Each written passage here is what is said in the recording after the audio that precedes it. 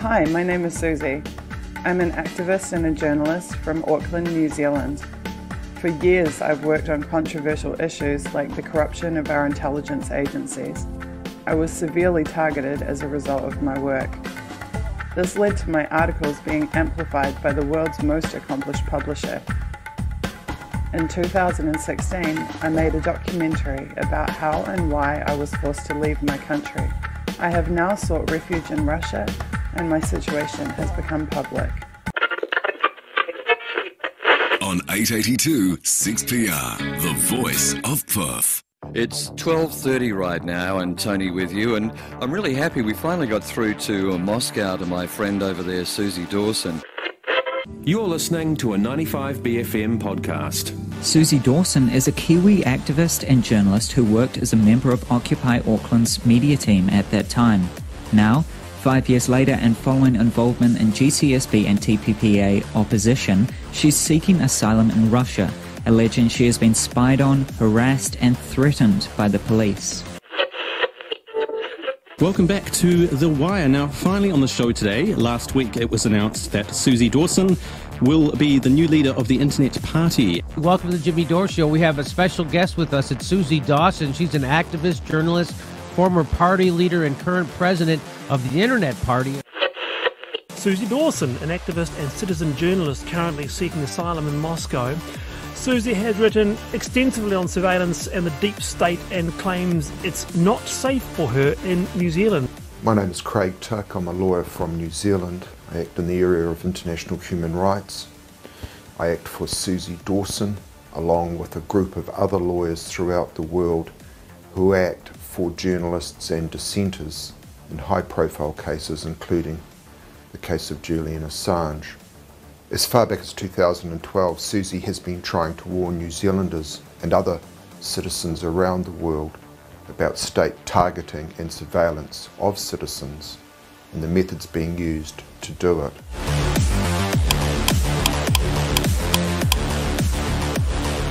Surveillance in New Zealand is now so widespread, it's not an issue of police going and getting a warrant and doing an investigation and then it all coming out in court the vast majority of the surveillance that's undertaken is never going to be aired in a courtroom.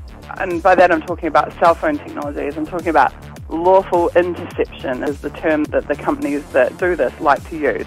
There is a corporation in Wellington, New Zealand called SSI Corp. And you can Google them and you can look at their website. And on their website, they're so good as to explain at length exactly what they do and, and how legal it is for them to do it. And essentially, they can intercept virtually any communication. If they have someone at range, they can hear your actual conversations, but also through cell phones, they can essentially turn them into microphones and hear any conversation that's had within vicinity. They can see your text messages, they can see what photos are on your phone, they can see what files are on your phone, they can read your emails, they can just intercept all kinds of information.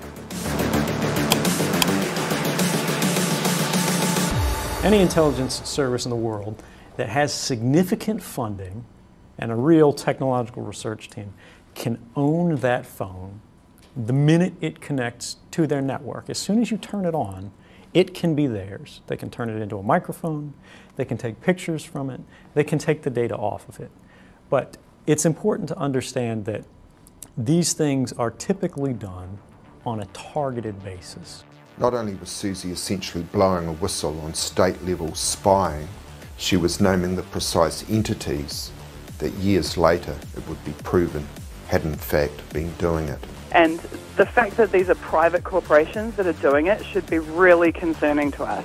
The crowd that they got, that they outsourced it to, was TCIL, which was, I believe, Thompson and Clark Investigations Limited. The state is contracting a private company to surveil you. To me, that's really immoral. Absolutely immoral. Some six years later, in December 2018, an official State Services Commission report confirmed that New Zealand government agencies had been employing Thompson and Clark Investigations Limited to target New Zealand citizens. This is a private company that had essentially been instructed by state agencies and departments to spy on citizens.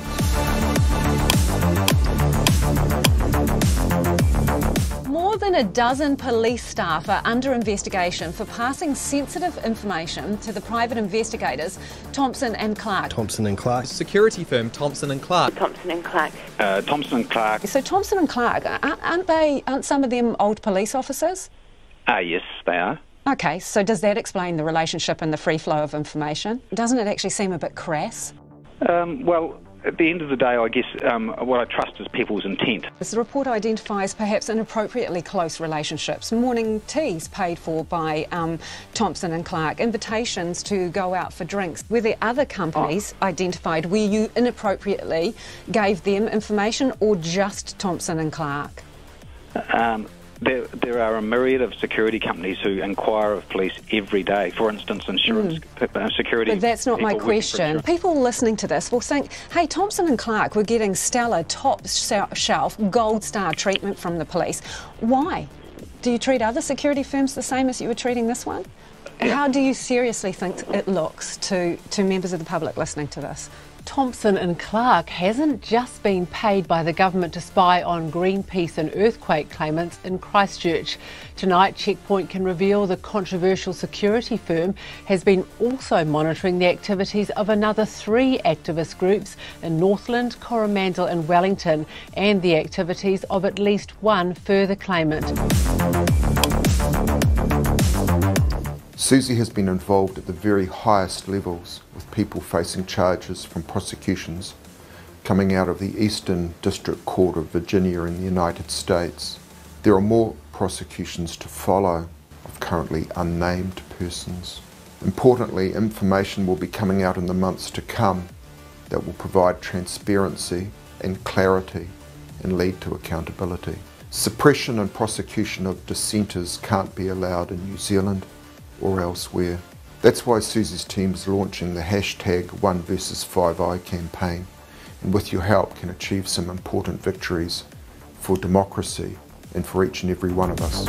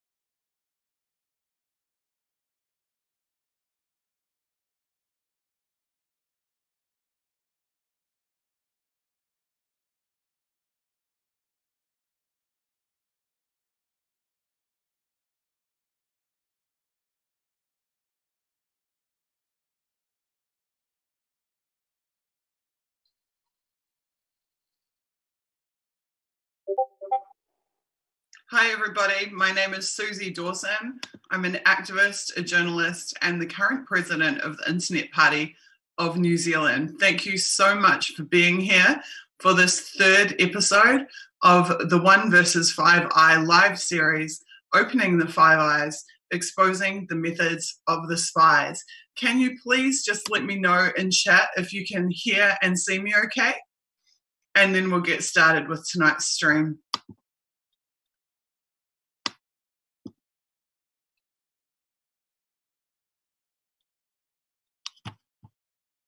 Awesome. Cool. Hi. Thank you, everybody. Okay, so if you've been watching the series, we, in the very first week, had a very high level overview of what the Five Eyes intelligence apparatus is and some of my concerns around the way that it functions in the second week, I had my friend Elizabeth Mueller, who's a fellow targeted activist and researcher, on to talk about her findings from the WikiLeaks project IC Watch. And we had a look through some of the different job descriptions and uh, details of what various subcontractors of the global intelligence apparatus have been doing based on information from their own CVs. If you were here with me in the first week, you would have seen a slideshow of uh, slides that I put together in a presentation. And this week I've expanded upon that. So we're going to revisit that in a second. I just want to let you know that this is a fundraising stream for the One versus Five I campaign. I am endeavoring to take action against the agencies that have violated my rights and the rights of many other citizens around the world. So, hopefully, our awesome team of social media admins will be distributing links to the One versus Five Eye website and to our donation page. And I would ask you all to, if you can't donate, at least to circulate that link and spread it to as many people as possible so that we can build a war chest for my legal team to take on these agencies. With that, I'm going to screen share and we're going to get into the presentation.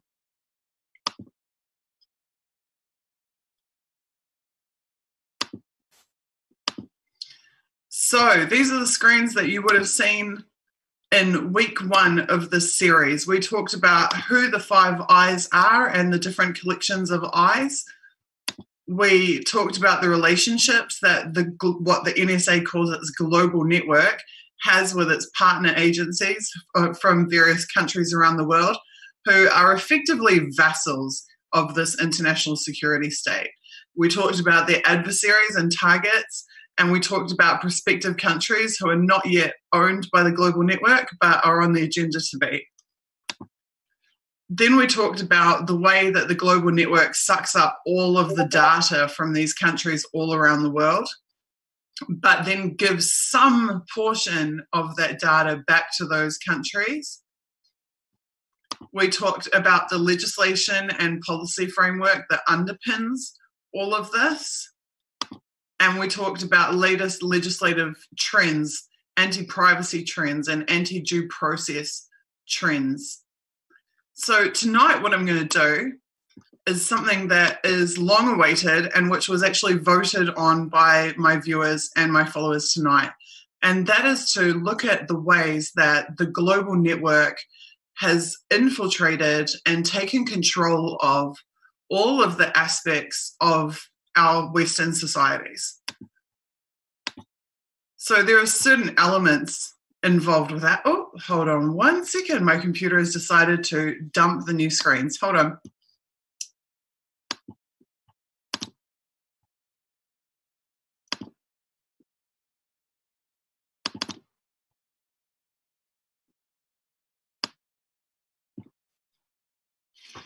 What a surprise. Fortunately, I took steps to ensure that this wouldn't be a problem for us.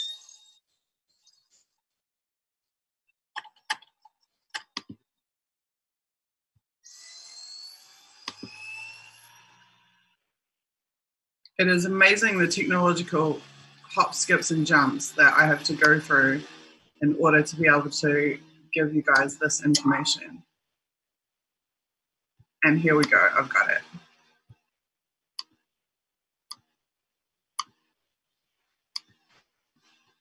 Okie dokie. Right, how the global network controls society. So there are four key areas underpinning our modern life that I have uh, assessed and proven through my study of NSA documents from the Snowden files and of WikiLeaks files and other sources um, are under attack by the intelligence agencies or which they have total control over. So there is the political sphere, there is technology, there is the economic sphere, and education. These are the four key areas. And how they do this in the political sphere, they have controlled it using coercion, they've controlled it using subversion, and they've controlled it using infiltration. And in the next slide, we're going to get into that a little deeper. In the technology sphere, they have taken control of innovation, of development of technology, and of access to technology. In the economic sphere, they have through their customers of the intelligence agencies, which we've talked about a little bit about in the past, the customers are the ultimately the beneficiaries of the products of the spying using espionage and slush funds that are outside of the purview of Congress or of oversight committees. That's how they've taken control of the economic sphere. And with education, they have two way reciprocal relationships with key figures right across the educational sphere. They use universities as a recruitment pool, a breeding ground for new agents and new cohorts for the global intelligence apparatus, and also appropriation of knowledge and information and development um, from the educational sector. So we're going to move right into it and start with breaking down their control of politics. In the political sphere, they they use um, international relations as a cover for their activities. So in the uh, post 9 11 terrorism legislation, you will see time and time again that any uh, threat to the relationships between countries or states is now considered a threat to national security.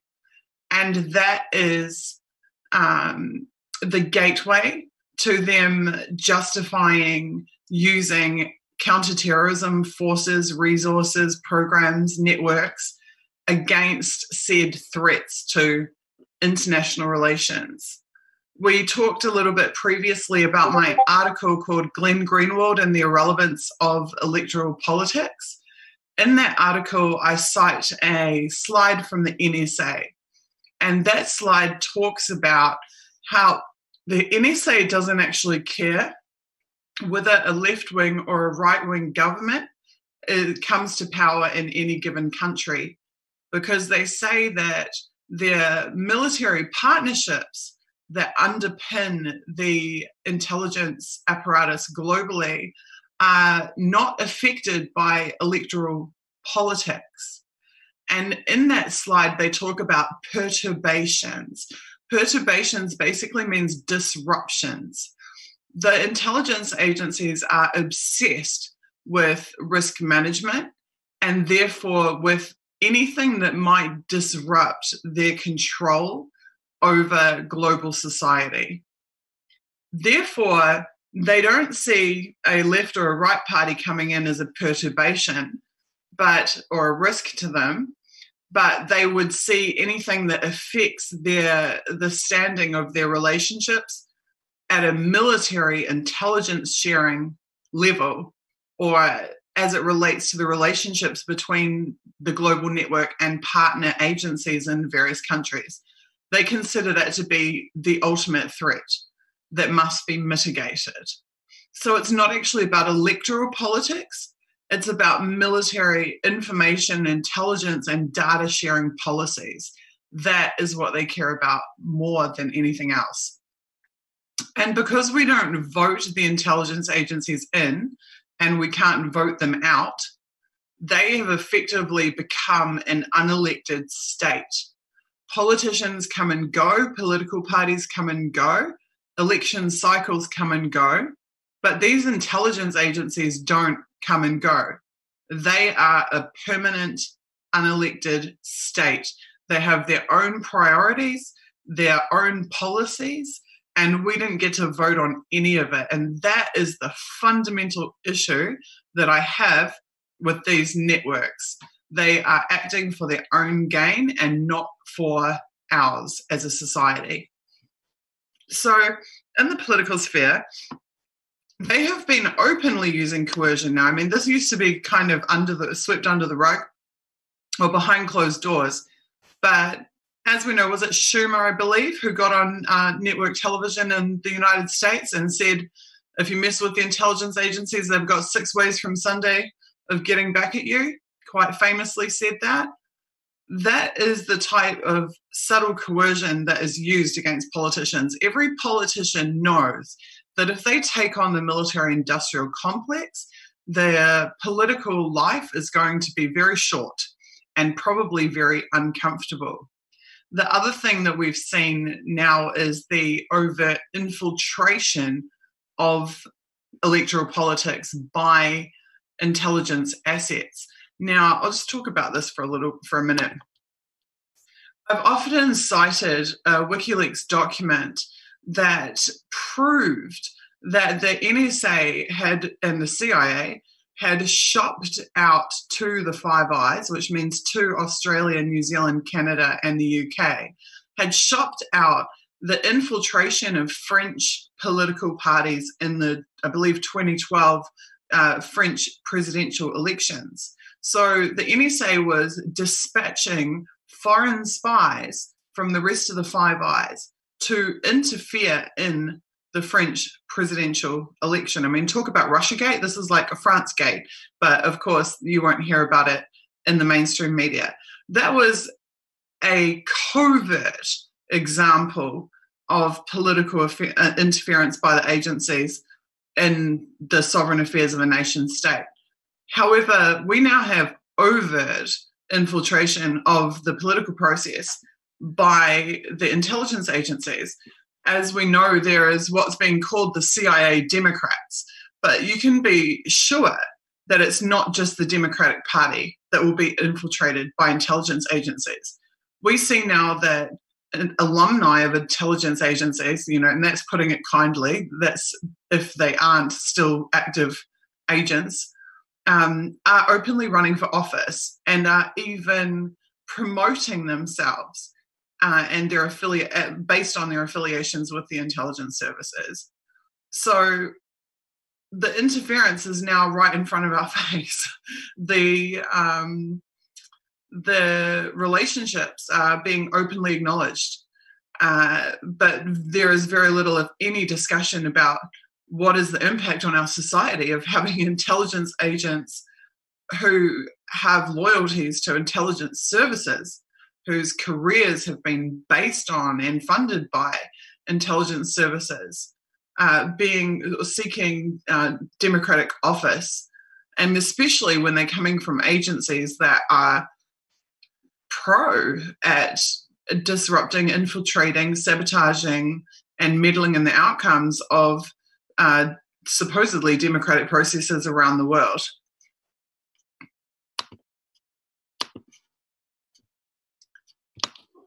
Where's my slideshow? Right. So then there's the subversion of the political realm by the intelligence agencies. And you can see that subversion in terms of them openly spying on oversight committees, Um, you can see that subversion where the policies and actions of the intelligence agencies do not match the stated policies of their supposed uh, bosses. So you can see, for example, I mean, another great example of that actually um, is Whitlam in 1975 in Australia. You have a prime minister of Australia, and he did not know that Australia was a member of the Five Eyes. He had no idea. He was simply not informed. That's a classic example of intelligence agencies subverting the political process. What is the point of us having elections and voting people into power based on their policies if the military industrial complex simply subverts the will of the elected representatives of the people?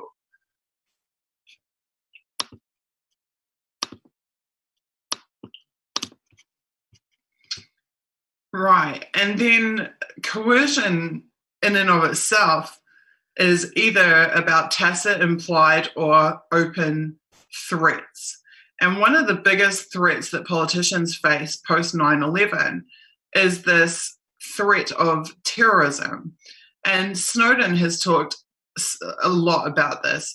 He's uh, talked about the way that the global network will threaten um, potential partners um, by saying, you know, well, if you don't participate and become a partner agency of the global network, what happens if you don't receive information from us and there is a terrorism attack? But you also see this in terms of politicians. Politicians who may want to cut funding to the agencies or who may not want to expand their budgets or their reach um, are quickly silenced by this threat of terrorism because it's the eternal justification for the endless growth of these agencies is terrorism, terrorism, terrorism. And so that is used as a threat against other countries and to get them to join the global network, but it's also used as a threat against politicians because, as Snowden says, no politician wants to be the guy that didn't fund the agency that could have stopped the terrorist attack.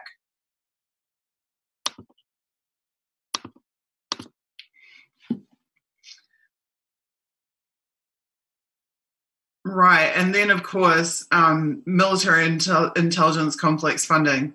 So, how many elected representatives in America right now are being funded by Boeing, are being funded by General Dynamics, are being funded by uh, private corporations in the intelligence sector, or um, businesses that are part of what Donald Rumsfeld called uh, called the total force, which is all of those private military contractors that have been financially profiting from the many wars that America has involved itself in and or really started since 2001.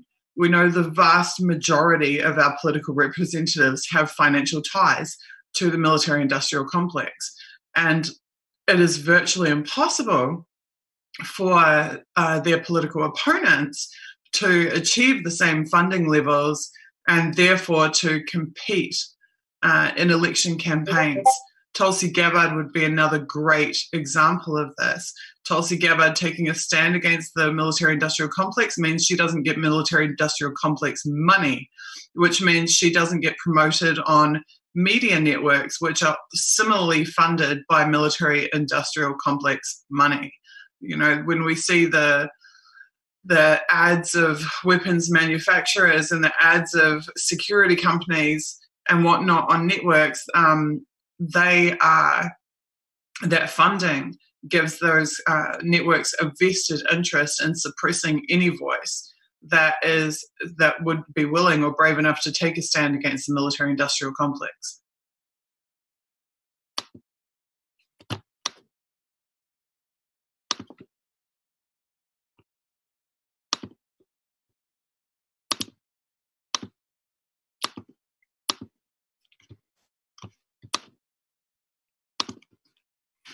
Right. So we know that the media has also taken a turn for the worse since it has begun hiring ex and or current uh, intelligence personnel and even executives as talking heads or so-called subject matter experts on its channels. Uh, it seems that yet again the covert has become the overt. So we know from Mockingbird, Mockingbird onwards that there has been intelligence agency infiltration of the mass media. But it seems that now they don't even need to do that. They can just openly place their people uh, in prominent positions on major networks, and they have been able to uh, openly push information ops narratives that previously they would have had to hide um, having done so. The other thing that we see is the infiltration of NGOs, think tanks um, in the public sphere as well. So, organizations that have the appearance of serving the public interest, but which are yet again being staffed by ex or current intelligence personnel that are being funded by, again, the military industrial complex. The oversight, has, as we talked about, has been thoroughly subverted. I covered this in a previous episode. We talked about the NSA directives and policy, where that was coming from, and um, and we talked about the liaison officers at the NSA and how they were proactively uh, putting a chokehold on information reaching the overseers from the intelligence agencies. But the other thing that we've seen, and also which Snowden has extensively talked about, is the willingness of intelligence agency executives to just flat out lie in congressional testimony. So they, you know, from Clapper on down, will sit there and just literally lie on C SPAN to the public and lie directly to their overseers. And we've also seen that they do so with impunity. There is absolutely no negative impact on them for having done so. We've also seen from studying the NSA documents that there is a humongous obsession inside the NSA with uh, what they call budget day. And this is where once a year they prepare their budgets for congressional over, uh, approval. And there are multiple documents uh, in the NSA Snowden files where the NSA is warning its personnel do not submit anything which may in any way justify um, restriction of our funding. Um, and they also tell their personnel that if they run their documents past a certain budgeting office, that they will be sure to reword their requests and applications in a way which is uh, most likely to maximize the funding that they can get from Congress for their activities. So, receiving the maximum amount of money possible is absolutely and definitely uh, one of their strategic objectives. They are obsessed with stopping Congress getting information about their activities, but yet maximizing the amount of money that they can get Congress to approve for their activities. And they have no qualms about bending the truth in order to be able to justify that. So, that is my overview of the political subversion or the subversion of the political sphere by the intelligence agencies. And I'm sure you guys are probably already screenshotting that and sharing it on social media. Now I'm going to move on to the technological sphere. So this is something pretty close to my heart, and there is a it is a really big discussion. So in the technology sphere, we know that they control the cables for almost the entire planet, literally at cables, and I'm talking about the undersea cables by which data and information is transmitted around the world um, from entire countries and continents. We know that from the AT&T revelations going back years and um, many others that the telcos and the internet service providers are also under the control of the intelligence services. So in New Zealand specifically, I can tell you they have the uh, Telecom in, in, uh, Telecom Interception Capability Act, or the TICS, actually TICS Act, T-I-C-S in New Zealand, which legally bound all information services pro- uh, providers in New Zealand to make themselves in, uh, intercept capable and or intercept ready. What that meant is that every ISP in New Zealand had to build a backdoor into their network that linked directly to the GCSB, which is New Zealand's NSA. And this is a pattern, this legislation is a pattern that is rolled out across the world. So every ISP is mandated to not only cooperate directly with the intelligence services, but to provide them at an architectural level an open door into their systems so that they can access the information within them at will. They also have been deputizing the staff members of internet service providers. Sorry, look at me stumbling over my words now. Internet service providers. They actually deputize um, a staff member who is responsible specifically with fulfilling any information requests from the intelligence agencies.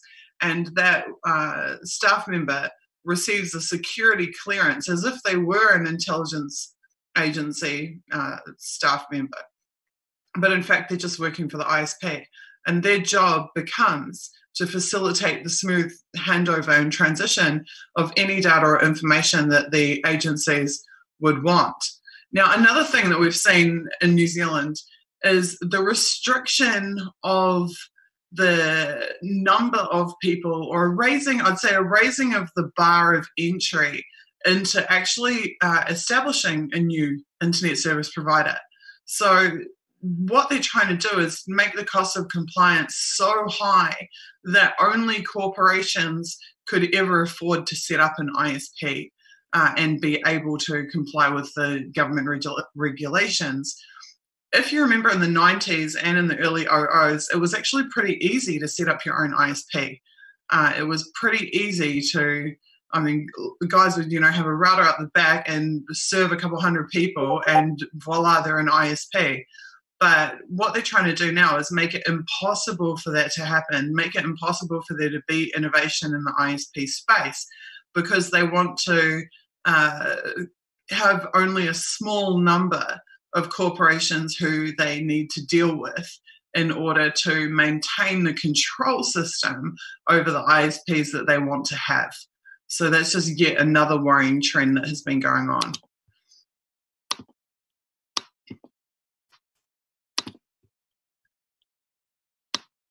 Okay, so on top of that, we've also seen that the intelligence agencies are obsessed with gaining backdoors in hardware, also compromising hardware supply chains. There's been a lot of work done around demonstrating that. Um, and obviously software as well.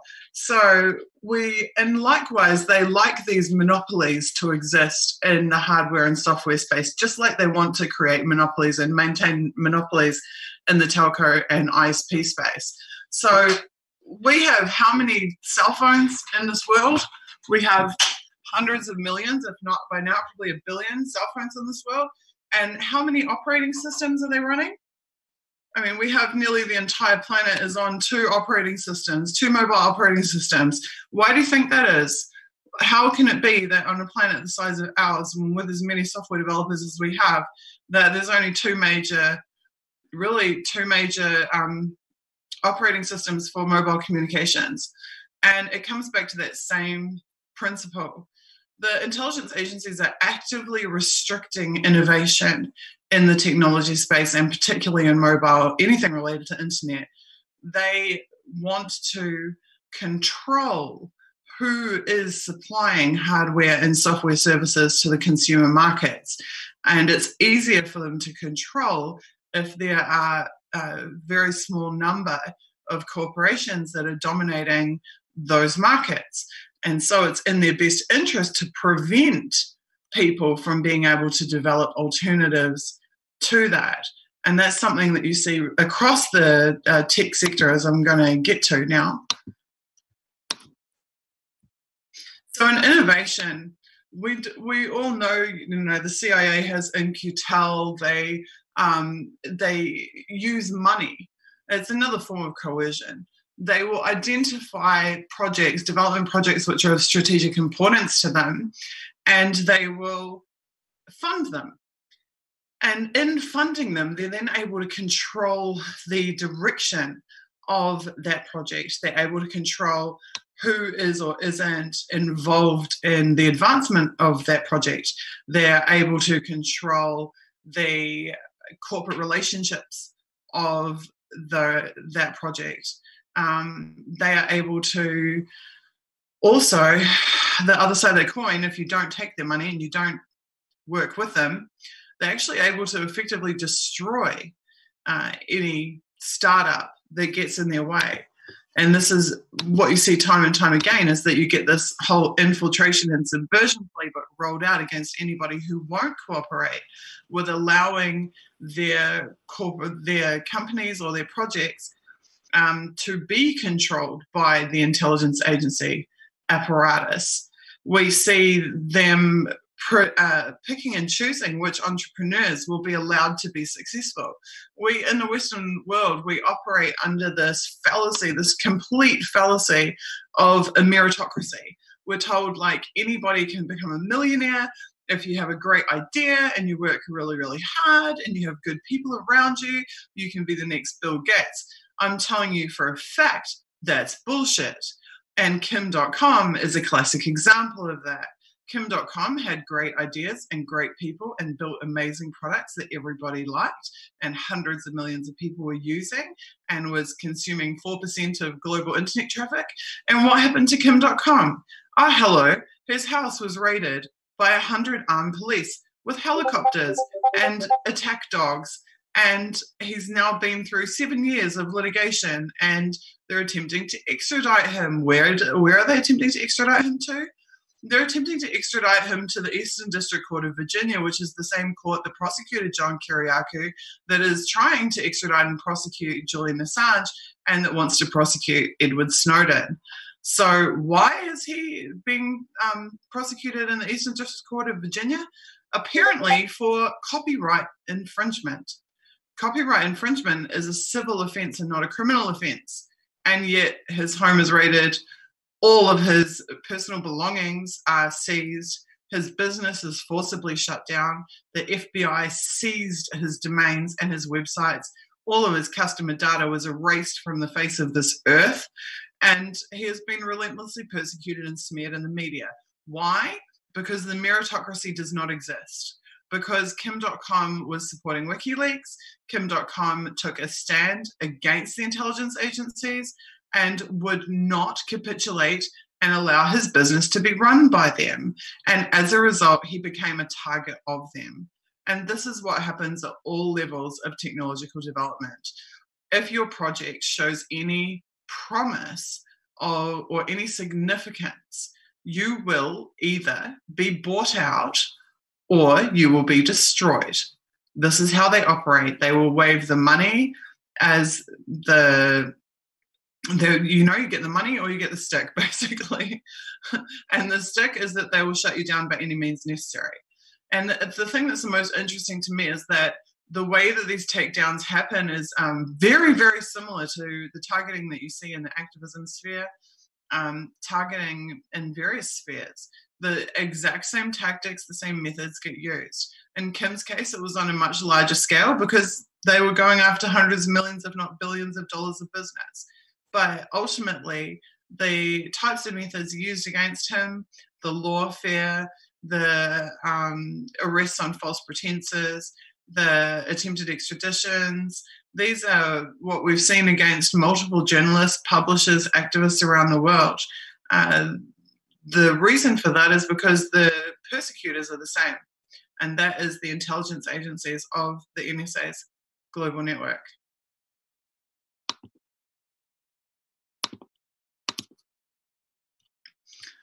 So, um, they want to control the strategic development of technology because they need to be able to respond to it and to have time to have worked out how to exploit those systems before those systems are rolled out. This is another thing that we see inside the NSA documents. Um, the NSA documents from, I think, circa 2002 were talking about the advent of Wi Fi. So the NSA could see and knew already from basically spying on r&d that the future of the internet was going to be wi-fi. Eventually everybody would have access to wi-fi. And they wanted to make sure that they did two things. One they wanted to control the strategic development of the technology. What what this means is they want to control how fast it's being developed and when it's going to emerge on the corporate on the consumer market they actually control when we receive access to technology and to innovation. And the reason for that well is twofold. One they want themselves to have access to it before anybody else does for their own benefit and they are light years ahead of, of us normal people in terms of the types of technology that they have access to. And secondly, because they want to already have pwned that technology. They want to already control it from the architectural level. They already want their backdoors to be established. They already want the ways in which they manipulate and use um, it to spy on us to be well established long before we're ever ordering that product and having it delivered in a box to our doorstep. They maintain themselves their own technological supremacy by making sure that they are 10 steps ahead of consumers. So they are already interfering in strategic technological development when it's at concept level long before projects are even funded and things start to be built, the NSA has already got their fingers in it. The global network has already got their fingers in it. And they're exploiting, they're using and exploiting that technology before any of us ever have access to that technology.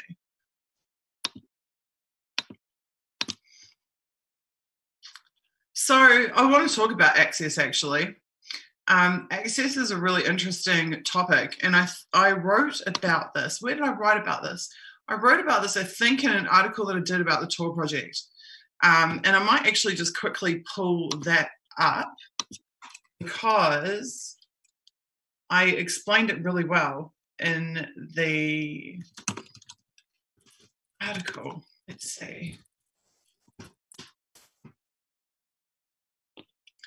Here we go.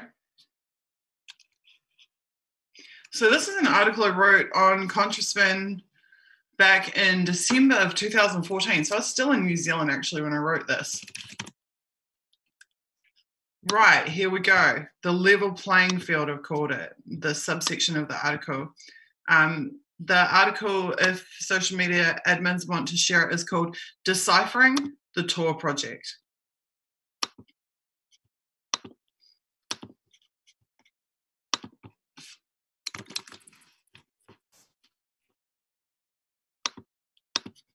Okay, so I'll just read you this excerpt that called The Level Playing Field.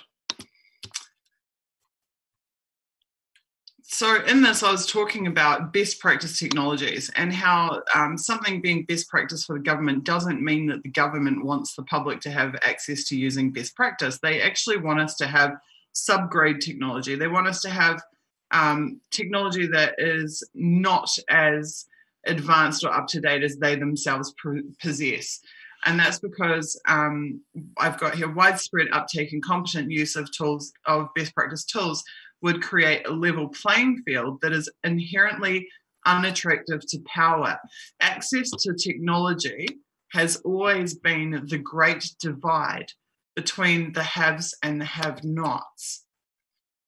And where is the somewhere here I talk about the order in which ah here we go this is it.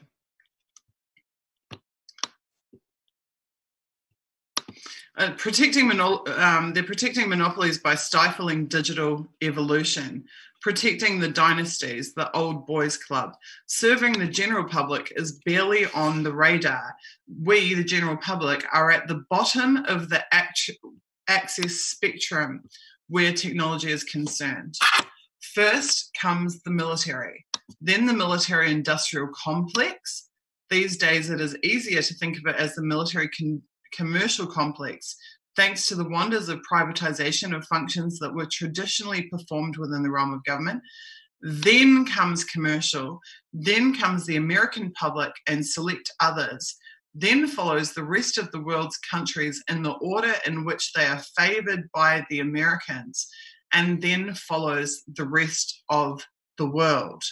And I'm explaining that this is why projects like the Tor project are initially government funded and why attacks on them begin at which the point is uh, at the point at which the technology is finally filtering through into the public sphere. And I actually think this is such an important point that I would like to task it. Uh, I would actually like to chart it for you so that you can get a visual understanding of what I'm talking about. So I'm going to do something I haven't done before, but which I think is a really good um, exercise. And that is that I'm actually going to create one of my little slides right here for you. And I'm going to call it the Access Waterfall for technology.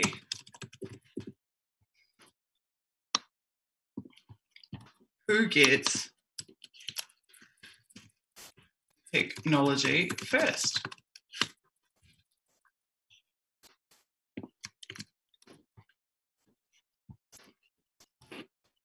And the answer to that is the military gets it first. They get it first because the global network, in fact, I'll say the military via espionage, the, the global network is literally spying on innovators around the globe, seeing what they're doing, what they're going to be doing, working out, then prior, prioritizing uh, what technologies they want to get their hands on first and or developing their own because i should mention that obviously the military has its own r&d programs as well but it is strong, it has a very strong interest in um, simply stealing the secrets of other nations or other co- foreign corporations, etc., etc. So the military has access to technology long before we do.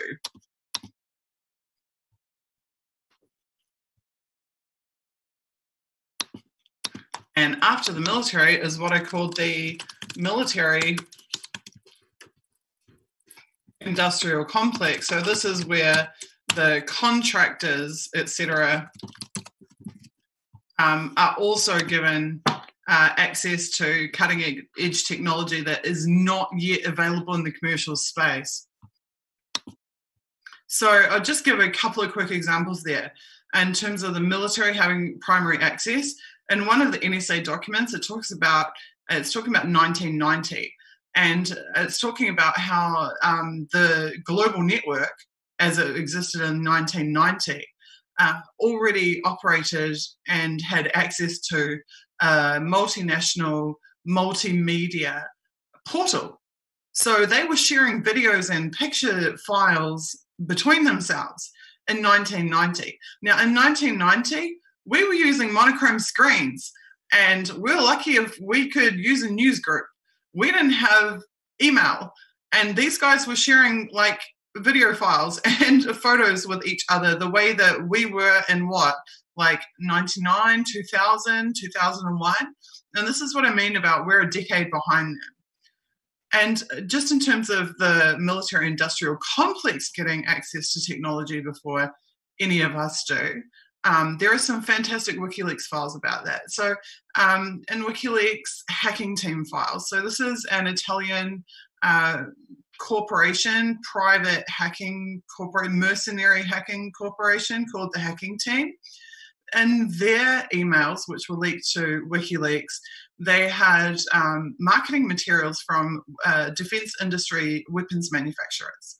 And in those emails, they were being offered access to hardware and technology which was only available to the military industrial complex, which was not in the commercial sphere, which you and I could never go and access or buy. But it, the access to it was being extended to um, corporations and companies like Hacking Team, who are like sat- satellite companies or satellite service providers for the military industrial complex. So that's yet another example of what I would call tier two. So tier one is like the military is the top of the food chain. The military is the control this planet and all of our countries. Not our governments are in control, it's the militaries are in control.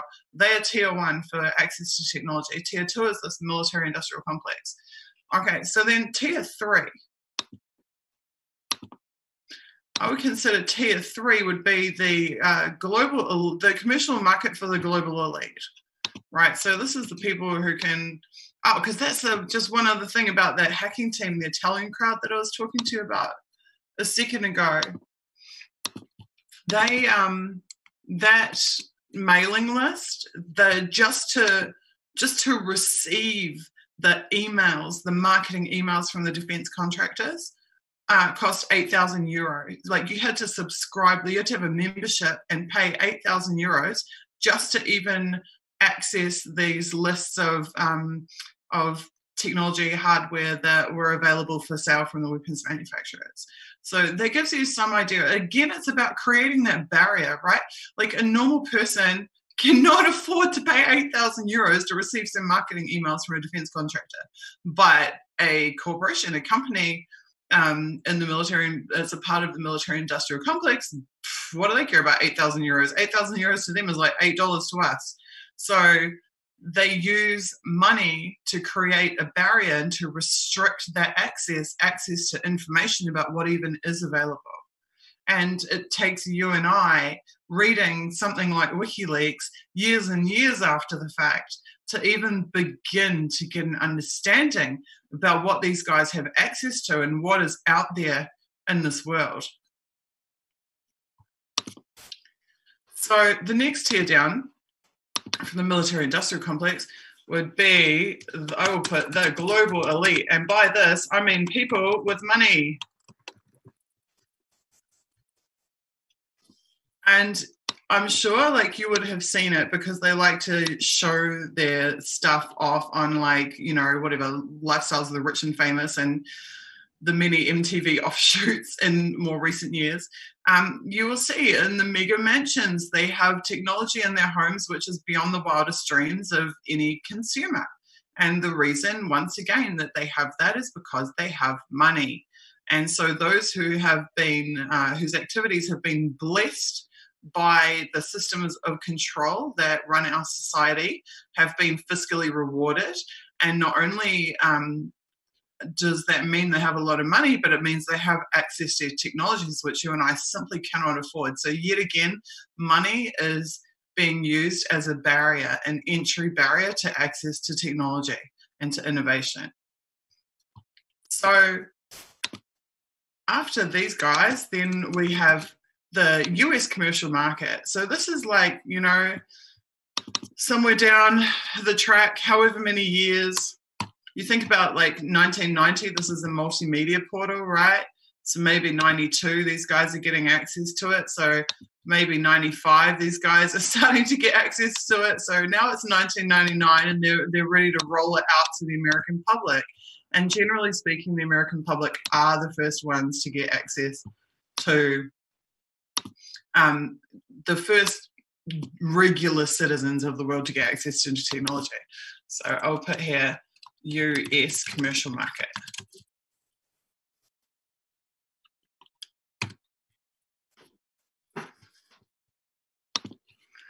And then after the US commercial market, this is where access to technology becomes a uh, I'd say almost a bludgeoning tool that is used um, for other countries that have um, relationships with the US for whatever to whatever extent. So I would put here US MIC favoured uh, partner countries.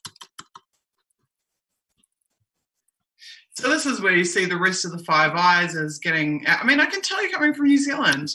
I can absolutely tell you coming from New Zealand. New Zealand, think about it, is one of the four most favoured countries in theory of the United States around the world. You know, the, the English speaking countries are this tight knit group, tight knit group, tight knit group that stick together. Um, and New Zealand was always behind the US on technology. Always. We always had to see and hear about things before they ever made it to us.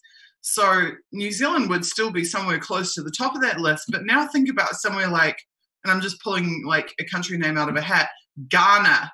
Like where is Ghana on the where are the citizens of Ghana on the access to technology waterfall? They are like way the hell down the bottom. And then now think about somewhere like Russia or somewhere like Iran. Where are they on the access to technology waterfall? Not only are they massive targets for R&D espionage, um, for anything they do manage to develop themselves out of their own universities or their own science um, and research, research spaces, but they are also the last to be granted any type of access to um, innovation from the global network. So then we would have at the bottom here the very, very, very, very, very tail end of the waterfall is the US MIC least favored non partner countries. I'll just make this full screen so hopefully you can all see it.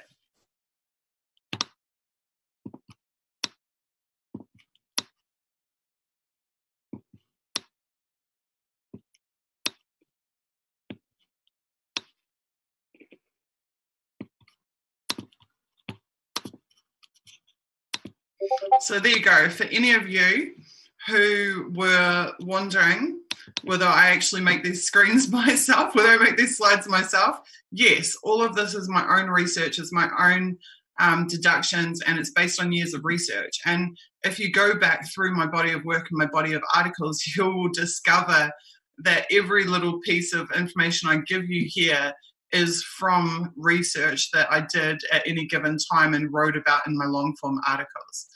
So I'm just going to save that. And that is an excellent screen, I think, in my opinion, to show the the way that access to technology is staggered in favor of the global network of intelligence agencies and the military and the warmongers and the war wages of this world, and how us little regular people down here are the absolute last to enjoy the fruits of any technological innovation. Okay, heading back to our technology screen, is there anything I missed? Um, right, so AI, of course, is the is the missing piece. AI is a such a massive topic, obviously. Um, and I want to avoid talking too much in these streams about topics that I intend to do like a whole episode on after the fact. So that's also why in this um, in these screens you won't see surveillance listed. Surveillance is obviously a key factor of political control, of technological control, of all the different areas of society that I'm going to talk about the way they control tonight. Surveillance is really key to that. However, I intend to do an entire separate stream on the methods of surveillance at every layer of society and our lives. Um, so I've decided not to really cover surveillance tonight, even though it obviously is integral to everything that I'm speaking about. So heading back to our slides. Ah, right. And this is where my computer has helpfully dumped my content. So I think we're actually going to take a one minute break because I'm going to have to pull up um, some screenshots that I took to make sure that exactly that wouldn't happen and fill in the missing gaps. And then I'll come back to you guys. Um, also, I'll probably finish up this lecture in about 15 or 20 minutes, and then I really want to interact with the audience. So, any questions that you have, tag me in the chats right now would be awesome, and I will go through and answer as many of those as I can. If you want to reward me for the work that I'm doing right now, you can do so by sharing everywhere that you can the one versus 5i.com website, donations link, re- just retweeting and amplifying each other on the social media platforms is a really big deal. Because um, I know there are a lot of really good people who have been trying very hard to support this campaign. And I'm lucky in that I have 20 something thousand followers, but a lot of the people who are trying to support this campaign have like 50 or 500 or 5,000 followers. So just looking up the hashtag and supporting each other, supporting the other people and accounts who are trying to spread this message, because God knows it's not going to come from CNN. Someone said it, actually, I retweeted something today and it was really clever that someone said, I was they're talking about uh, Gilets Jaunes or however you pronounce it. I'm sorry if I'm not pronouncing it correctly. The protests in France, and they said you can tell a legitimate mass movement when it's greeted by global silence. and I was just like, that is so spot on because that also works for campaigns like this one, and also for um, the activities and the work of individual activists. You can tell who is a legit activist because either they're relentlessly smeared or you have teams of people trying to convince you not to like them or follow their work, or they are just met with complete silence. Um, I take great confidence in the fact that in the integrity of the information that I'm sharing, the research that I've done, and the just the quality of the information. And I think that that stands on its own regardless of the fact that it's me sitting here telling it to you, I think these slides stand on their own. The content stands on its own. It has obvious merit. It has obvious significance and importance. Um, and I think I I can tell by who shares it um, and who wants other people to also possess this knowledge. Uh, it tells me a lot about um, who I should also be working with and supporting um, I can judge that pretty fairly because good people don't want to live in a system of wanton and abject control of every facet of society. It's wrong, and we've got to do something about it. And I can't do much as one person, but with you guys working with me and you supporting me, I can do so much more than as if I was by my own. So I appreciate everybody who is trying to share this stuff and who's working together to do it. You guys are truly amazing. And that goes for every person who's on the Discord server and everybody who's been helping uh, this campaign already. So if you aren't one of those people, get on board. The stuff's important. I'm going to do something about it.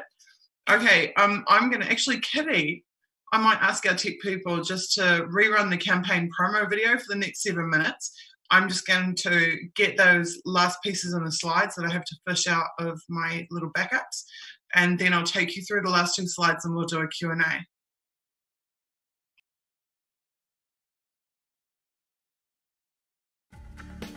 Hi, my name is Suzie. I'm an activist and a journalist from Auckland, New Zealand. For years, I've worked on controversial issues like the corruption of our intelligence agencies. I was severely targeted as a result of my work.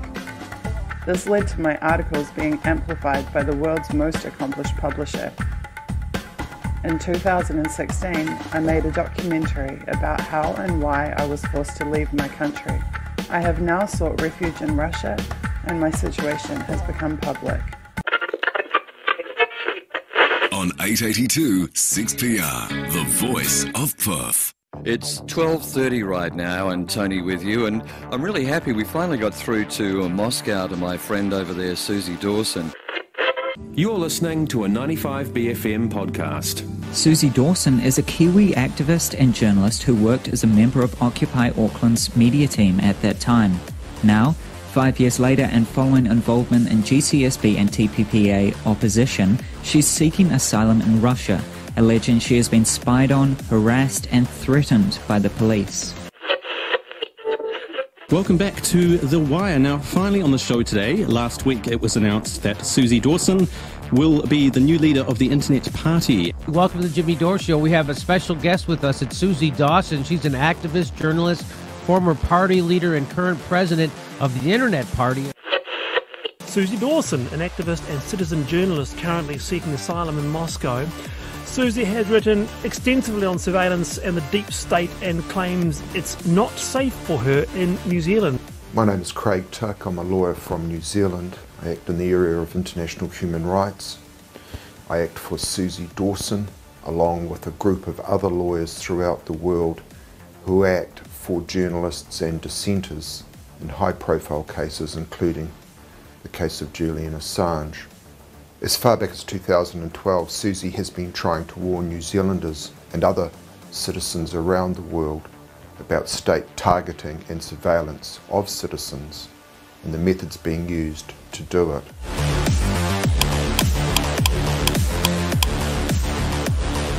Surveillance in New Zealand is now so widespread, it's not an issue of police going and getting a warrant and doing an investigation and then it all coming out in court.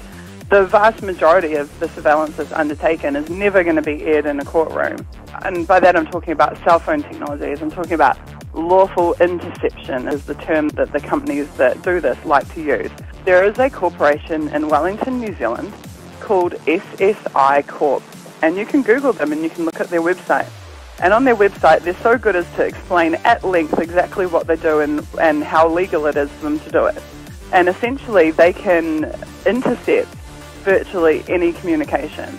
If they have someone at range, they can hear your actual conversations, but also through cell phones, they can essentially turn them into microphones and hear any conversation that's had within vicinity. They can see your text messages, they can see what photos are on your phone, they can see what files are on your phone, they can read your emails, they can just intercept all kinds of information.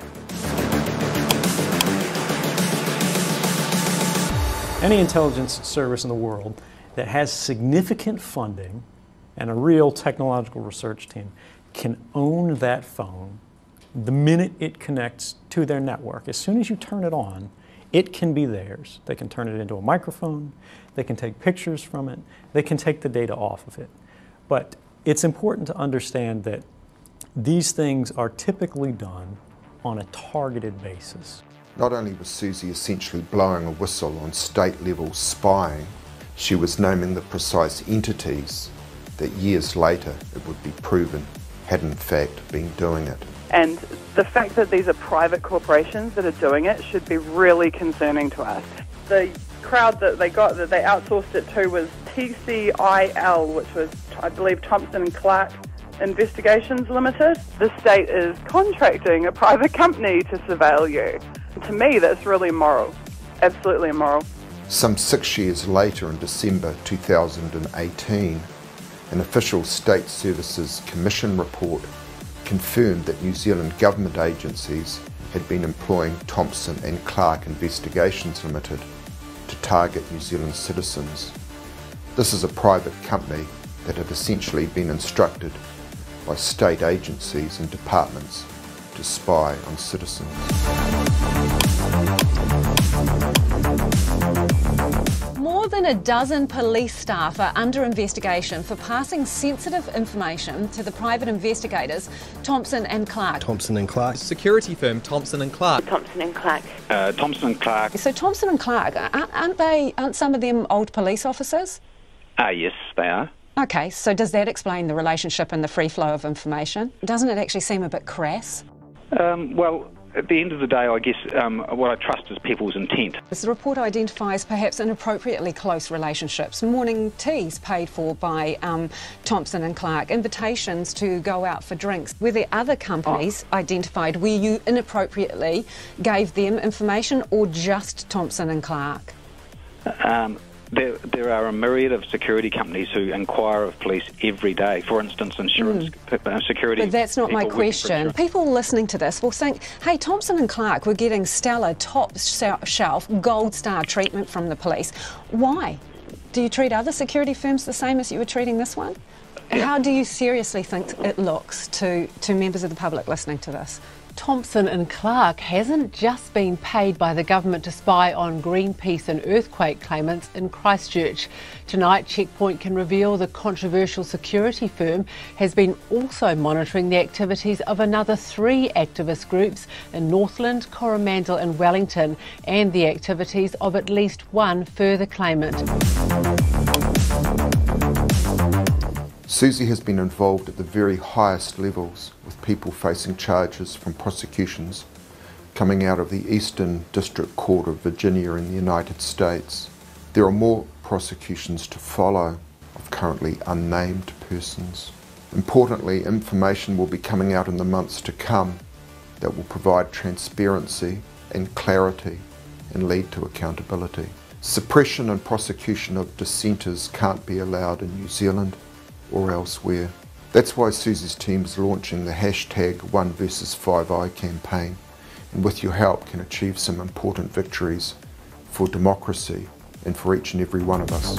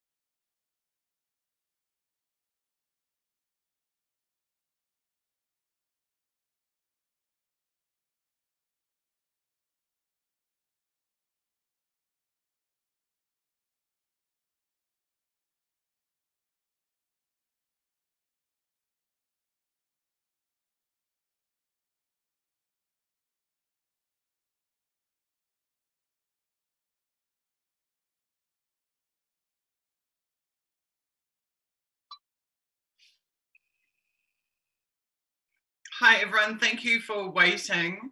I have completed the slides and let's get back into it.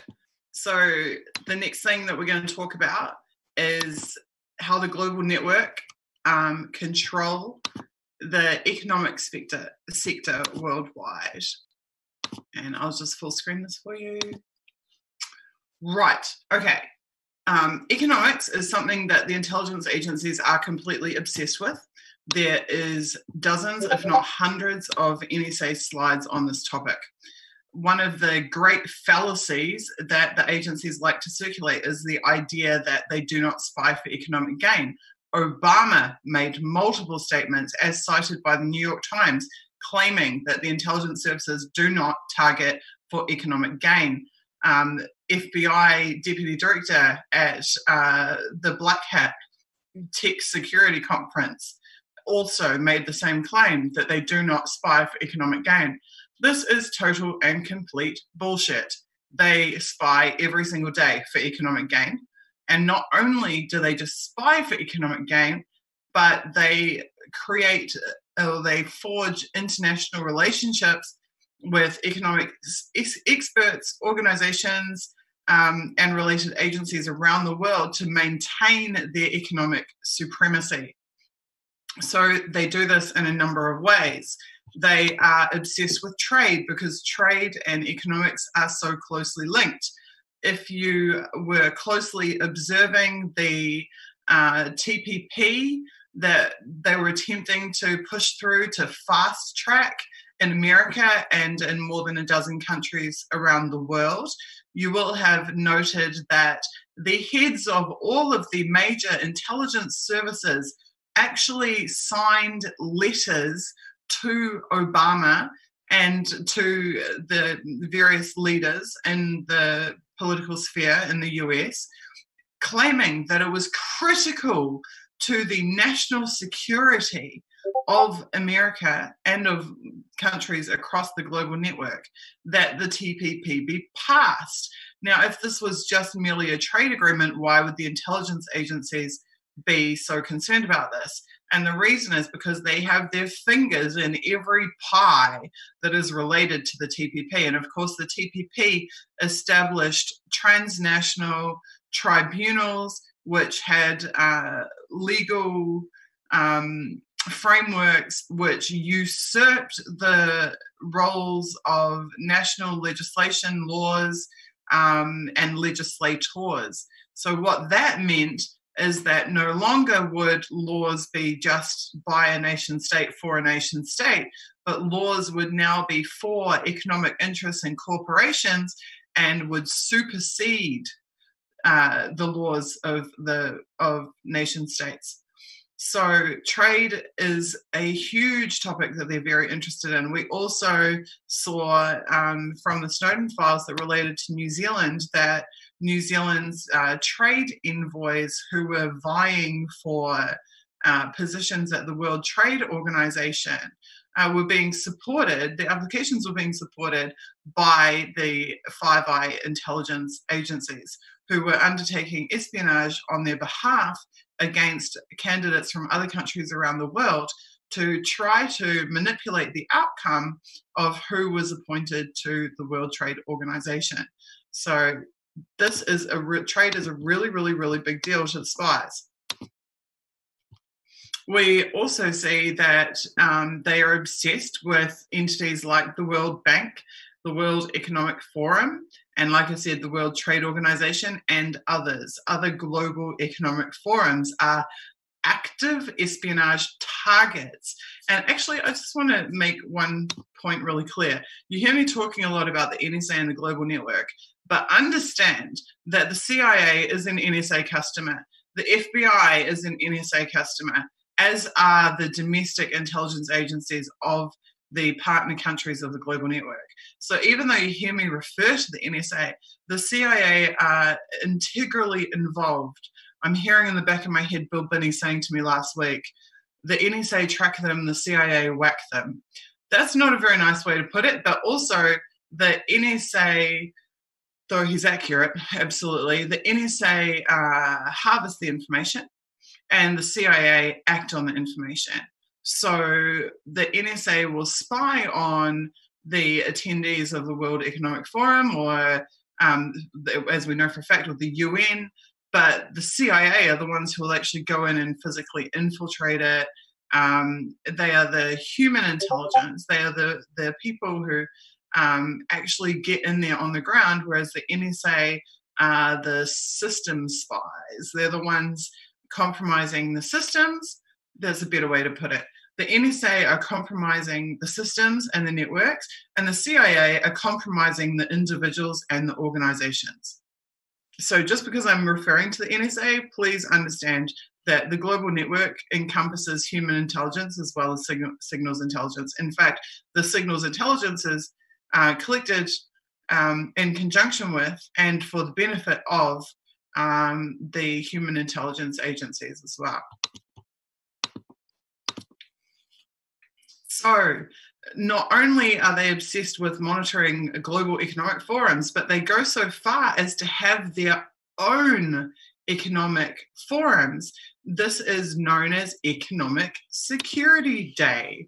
They literally have a day of the year, the intelligence agencies, where they bring experts in economics from all around the globe and they to these top secret conferences and they ask them how better may we serve you?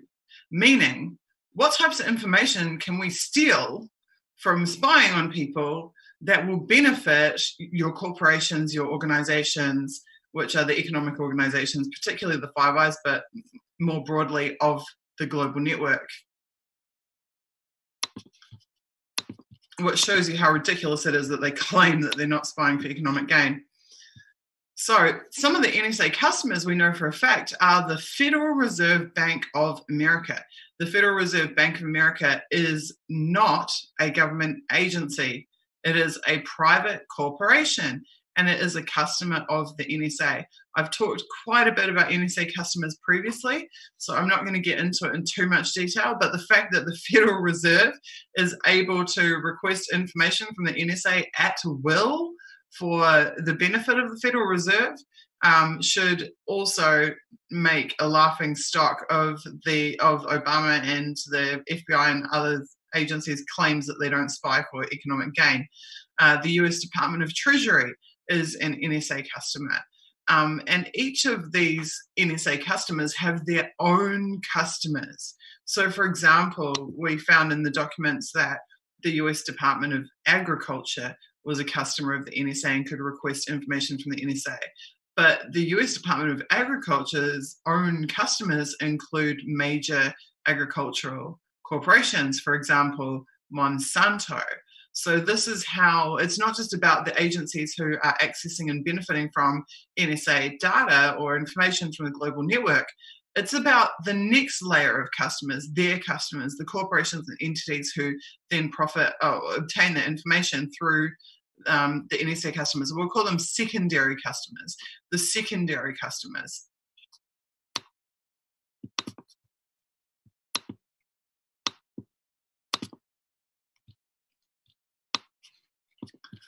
So, um, and what are they? How are they obtaining this information? They're obtaining it by espionage. What are they doing?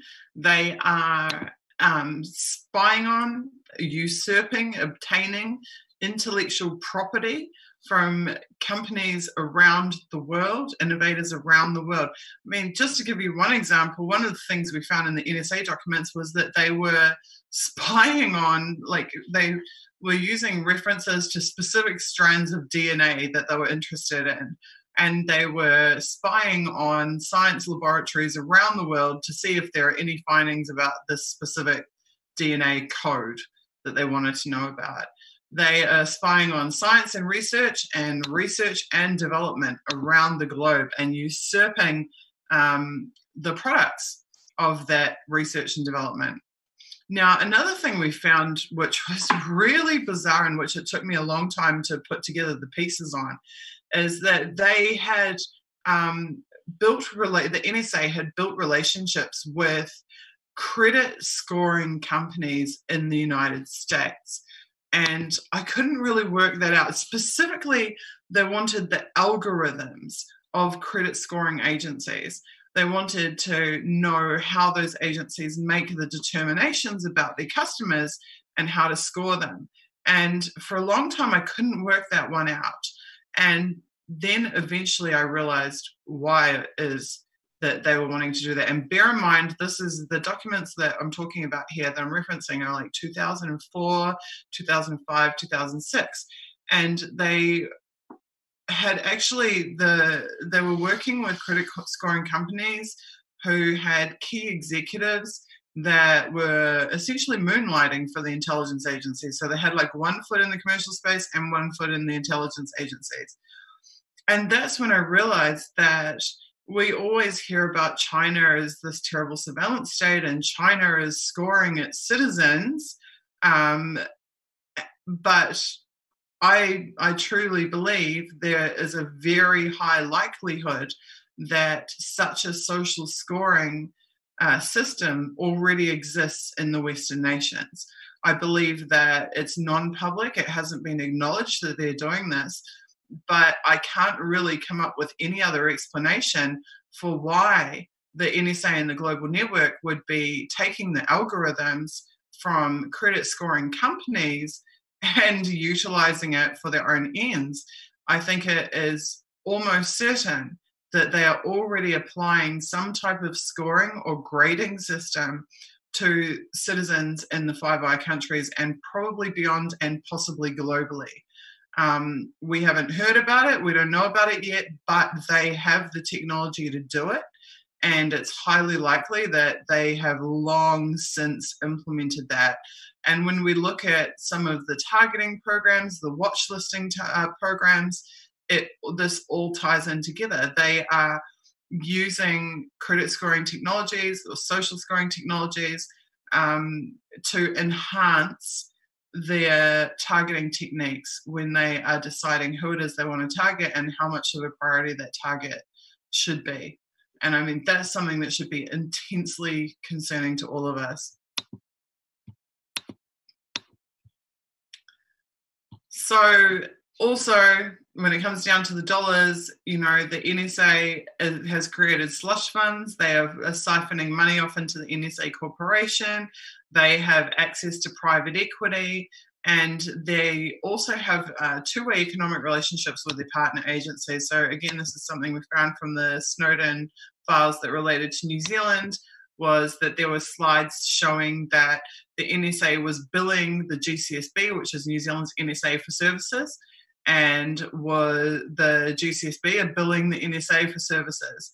And as I've mentioned many times before, throughout these documents, they refer to themselves as being a business. They refer to themselves as the business. They refer to themselves as being corporations. That's why they have customers and they create products. They are commercial entities and commercial undertakings. They invoice and receive funds and they pay for services to other partner agencies. So it's not just about the public funding, it's not just about the money that they squeeze out of Congress, it's also about the money that they're squeezing out of billing in the commercial space. In the commercial sector, they are essentially commercial operators, but they're commercial operators that have access to the most sensitive economic and trade uh, secrets globally, and then are exploiting them on behalf of their customers, which is obviously way beyond terrorism or national security. Okay, and then our final slide for today, and then I'll move into some questions, is the ways in which they are subverting and controlling education. So, one of the things that again is right throughout the NSA documents is they constantly have these training sessions where they invite, um, not just invite, but actually pay uh, so called subject matter experts from uh, universities and right across the education education sphere to come to the CIA, come to the NSA, and hold these special uh, training conferences or meetings about whatever happens to be their area of expertise, whether it be geopolitics or whether it be economics or whether it be international relations or whatever else. So professors are on payroll getting paid megabucks by the intelligence agencies to come and lecture to the employees of the intelligence agencies. But then that goes the other way around as well, because then we see executives from the intelligence agencies who are also going and speaking at universities, giving keynotes um, at universities, or who are being invited as a visiting um, professor. I mean, give me the word, or you know, um, are, are having commercial relationships. Essentially, is what it boils down to with uh, universities. So the privatization too of education has only been increasing um, the veracity of this. So we have um, now the chancellors earning hundreds of thousands of dollars and these visiting speakers getting paid these humongous speaking fees and the ability of universities to uh, maintain any kind of independence from the intelligence agencies is being constantly eroded. Then, of course, you have the endowments, and this is where you see the John McCain Library or the this, that, or the other thing, right? How many times do we see these warmongering figures um, have university endowments or are funding universities one way or another, um, how many times do we see even corporations that are also funding uh, buildings or programs or whatever enterprises on university campuses? Now, why are they doing this? They're doing this because in the NSA documents, they consider the universities to be recruiting pools. Now, if you've heard John Kiriakou, the CIA torture whistleblower, speak, you'll know that he was recruited out of university. He was recruited by a university professor. If you were here for last week's episode, um, you will have seen CVs of intelligence professional, professionals who were involved in uh, so called terrorism intelligence programs. And then the next listing on their CV is professor at whatever university. So you see this revolving door where it's not just that intelligence agents are running for office, um, it's not just that they are becoming talking heads on corporate media, but also they are essentially infiltrating and operating um, as faculty at major universities and learning institutions. And you see, in particular, there are disciplines at specific disciplines at universities, and that is just as two examples linguistics and international relations.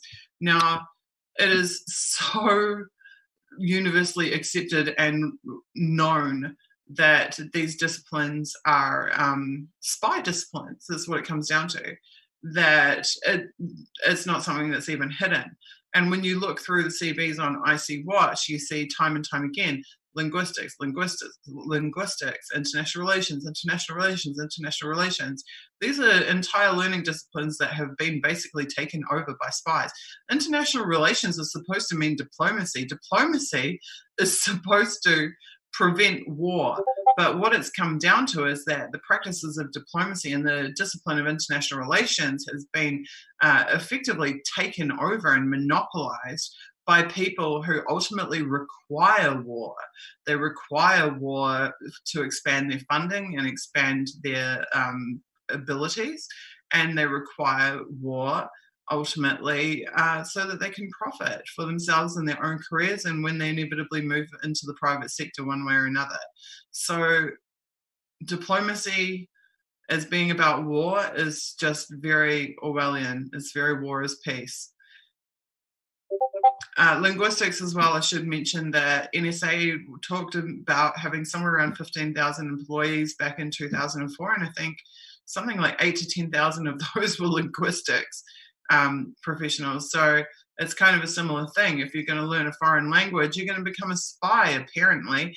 If you're going to study diplomacy and international relations, you're going to become a spy. Um, it's just to me, it just makes a mockery. It makes a mockery of the learning institutions. It makes a, lo- a mockery of the disciplines themselves, um, and it makes a mockery of, of the services that are supposed to be provided by people who study those things. And it also, to be honest, gives a dirty name to anyone who just genuinely studies linguistics or international relations who doesn't actually want to become a spy or become a part of the war machine.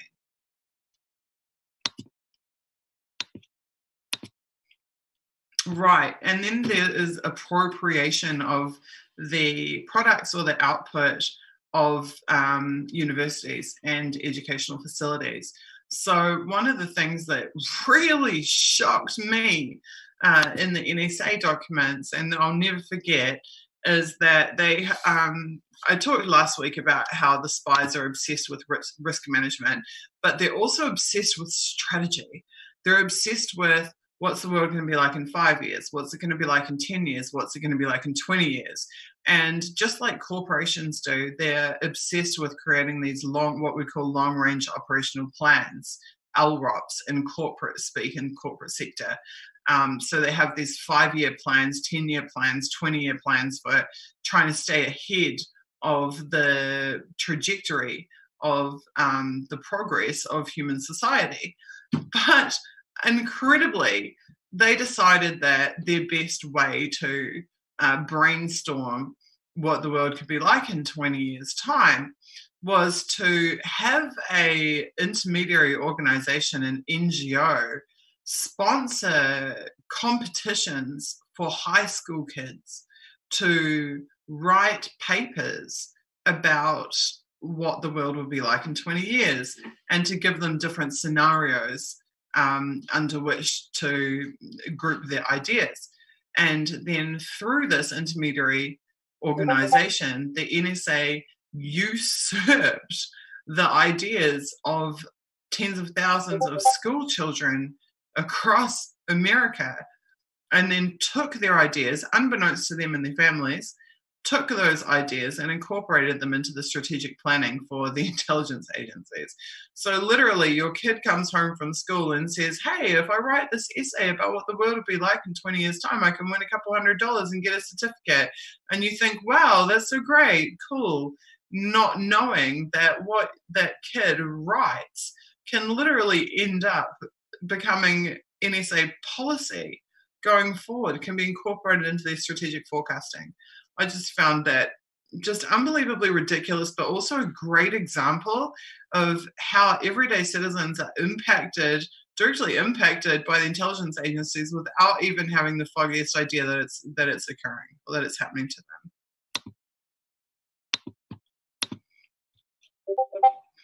and of course then they use these ruses so they use um, a variety of ruses including entire organizations that are established for the precise reason of buff- creating a buffer between uh, the NSA, what the NSA wants to do, and who they want to get it from.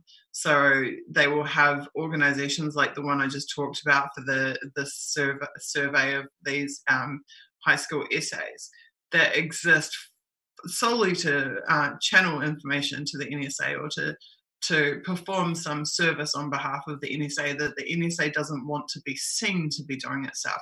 It doesn't want to be seen to be actively recruiting.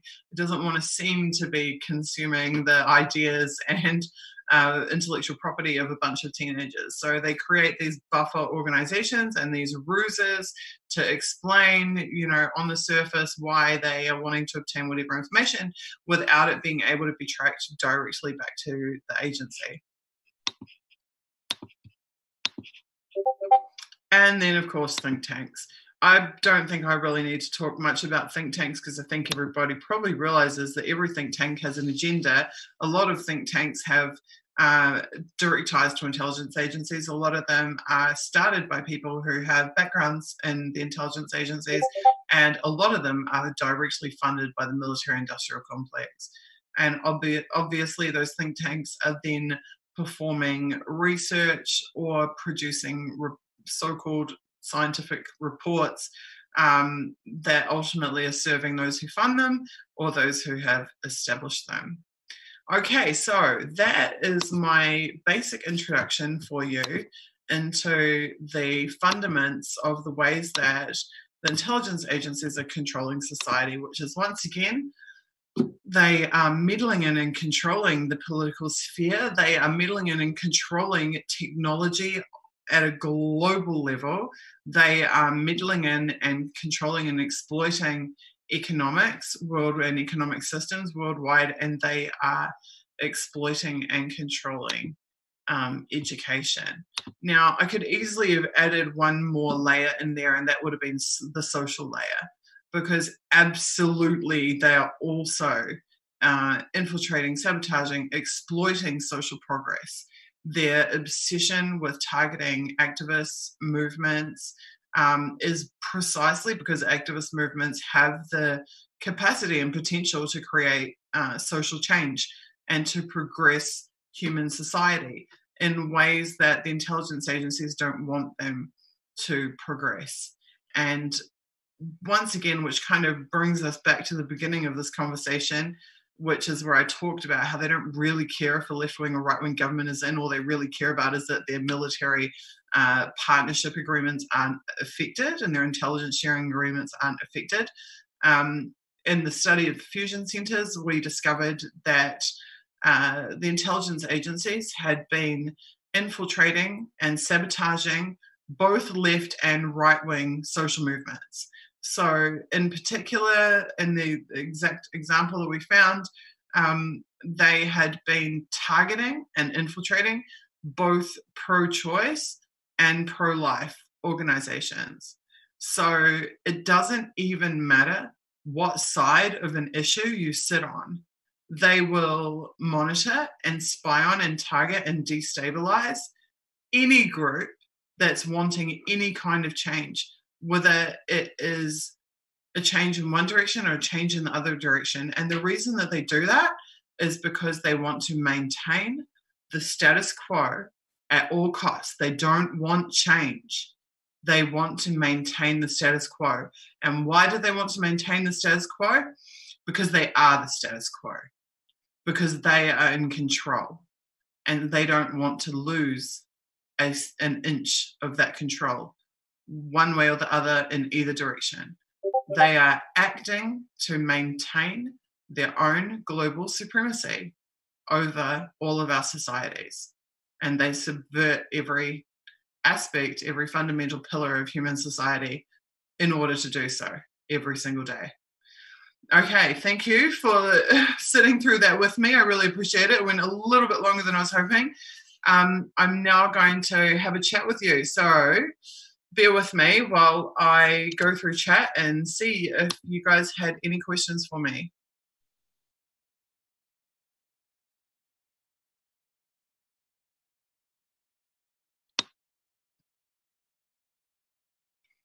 Thank you for all the kind comments, you guys. Someone saying that um, when they worked at Georgetown University, there was a think tank there with members from Council on Foreign Relations. Council on Foreign Relations is one of those globalist organizations. And when I say globalist, okay, this is, I'm not taking a political position. Um, these intelligence agencies are globalist agencies, and you it says it all the way through their own documents. They want control over every inch of the globe. They want visible, these are their own words, they want visibility over every inch of the globe. They want to collect it all, all of the information, all the data on the globe. I believe in decentralization. I believe in decentralization for the protection of, of humans around the world. I do not want there to be one master internet, uh, international intelligence data scam cabal that's in control of everything like we have now. And unfortunately, they're probably like, if I had to guess, probably 85, maybe 90% of the way towards that total global domination that they want to have. And that is just terrible. And Council on Foreign Relations is a fantastic example of an organization that exists only to maintain that status quo of uh, control over human society worldwide.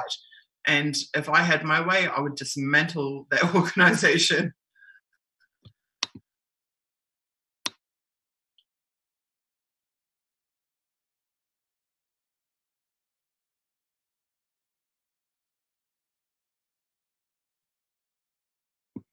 Social media um, admins, please hi to the people from New Zealand saying hi to me. Um, please, can you highlight any questions that are for me? Because there are so many comments in the chat. I'm, it's really difficult for me to find them.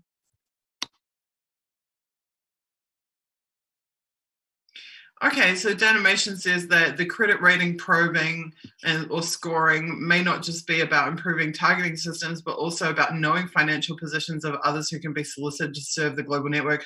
I would completely agree with that.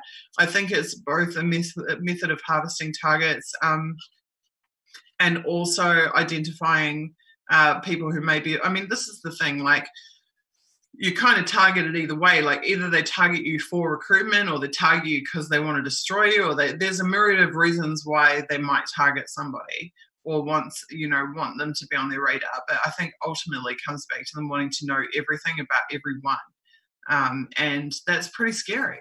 That's pretty scary.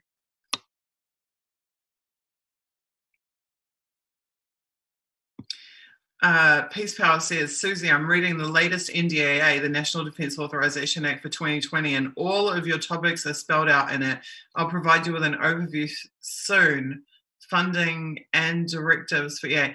I would love you to send me a copy of that agreement because I will absolutely put it on the list of things that we can sit and read through together and discuss because that's the type of thing we need to be aware of and we need to be on top of and we need to be talking about. Absolutely. Question from YouTube chat. Suzie, we are just plebs. How can we actually do anything as citizens? Well, basically by being active and by doing it together and by banding together. I mean, Ray McGovern would tell you, he would quote, I believe, I.F. Stone, and he would say, um, it's not important that we win, it's important that we try. I totally agree. I can't stand the defeatist attitude. I can't stand that. oh, but they have so much money and they're so powerful and blah, blah. So what? We just sit down and take it and like let them destroy the planet. I'm not into that. I'm into let's do what the hell we can and let's inspire as many people as possible to group up around us and do what the hell we can. Um, in fact, I would go so far as to also quote um, Alice Walker, I think, my one of my best friends, an amazing activist in New Zealand. Um, also quotes, and she says, uh, activism is the rent that I pay for living on this planet. Um, she believes it is every human's duty to to do something. And you look at every every progress in human history that's come has come from people getting off their asses and fighting the power, literally fighting the power. That's what has gained us anything that we've ever had that was worth having has come from that. So I don't think we say we are just plebs. I think we say we are just humans like the humans who have come before us and who have fought massive fights uh, against great power and who many times have lost those fights and who sometimes have been victorious and sometimes have made progress. Um, I do think that the global network is a Wizard of Oz situation. Like they can do some really nasty shit to individuals. They could do some really nasty stuff to specific um, organizations or specific targeted groups of people, but they can't take all of us on everywhere. And I think that if we make this enough of an issue and we make people aware of it enough, and particularly, I'll tell you when change will come, particularly if we teach people the aspect that uh, these intelligence agencies render the entire electoral process obsolete, null, and void. If you can uh, get people to buy out of the spectacle of the election cycle and actually start seriously absorbing absorbing information like this and doing something about it, that will rock the system badly enough that something will have to change. That will rock the system badly enough that politicians will actually have to start reining in these agencies or at least pretending to have some control over them. Um, that's really where we've got to go. Step one is make people aware and educate them, and step two is to start building some of our own systems to um, subvert and buy out buy out of the global network.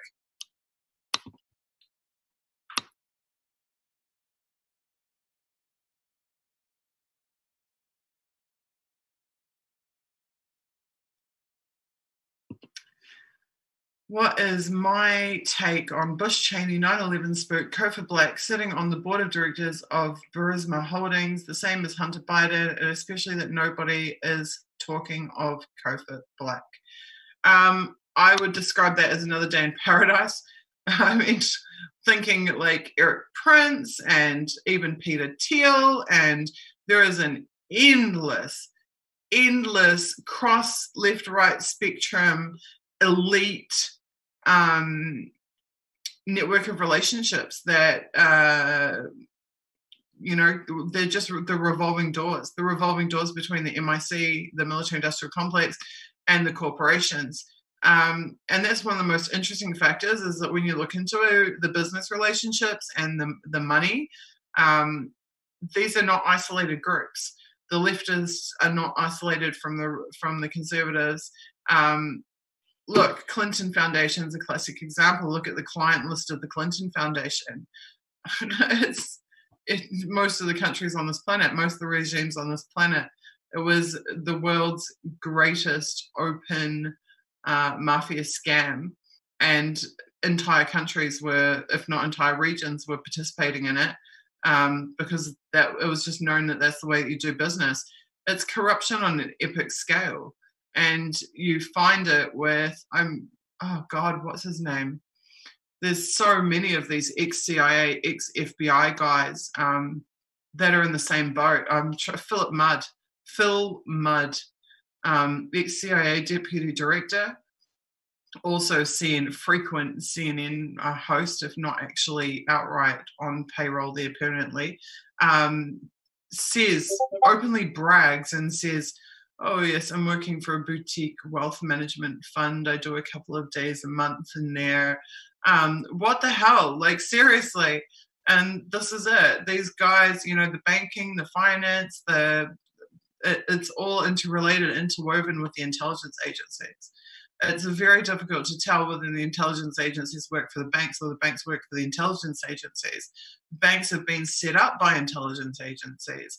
They're all one and the same thing. You can't really pick them apart. And, you know, I'm all for like good investigative journalism that goes after one corrupt guy and hopefully takes him down and hopefully like puts a little dent in whatever aspect of the network. But I also firmly believe that the systems are the problem here I can't just, I mean, I, I started out my journalism, you know, reporting on corruption and minister, minister of police, reporting on corruption and minister of justice, reporting on corruption of the prime minister. Um, but all of them are just employees. They're just like middle managers. They, um, I couldn't even hate John Key for all the horrible stuff that he was responsible in doing to me and many other activists and journalists in New Zealand, I couldn't even hate him because I had this understanding, this inherent understanding that if it wasn't him, it would be someone else. These people are. It's the same actually with, I feel the same about the infiltrators of activist movements, uh, especially with this advent of private security contractors and private intelligence companies. Um, you get saboteur X, Y, or Z in a movement, it actually doesn't people get really fixated on the personalities and and on the specific person who's doing the sabotage. But if you get rid of that person which takes like months in, in any activist movement to finally get a saboteur, a saboteur out is very very time consuming to do. The next one just gets put in you're back to square one. There's always going to be the next stasi asshole willing to come in and sell. There's always going to be the next opportunist willing to take the money, you know, and be on the board of whatever and do whatever evil shit. But at the end of the day, as far as I can see, none of them can operate without these systems. None of them can operate without the system, the intelligence, without the global network. If the global network was literally shut down, the information that they use to maintain their supremacy would be gone and their power would be gone. How many times we hear information is power, information is power? Why was WikiLeaks the greatest threat to them? Because WikiLeaks was taking the information that was their power and was releasing it to the general public. And the general public were obtaining information and therefore obtaining power that traditionally had been restricted only to these elites. And so I really feel like we have got to go after the systems. We can't just go after Mickey Mouse A, B, or C anymore. We need to go after the systems of control that enable this globalist supremacy uh, to be maintained.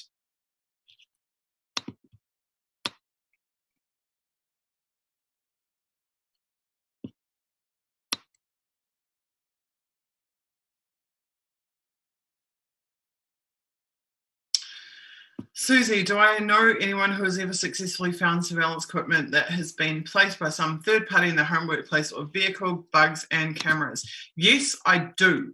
Um, ask me about this question next week and I will talk about it at length. I know organizations that have run counter surveillance operations and been able to obtain proof of them being monitored and including finding equipment.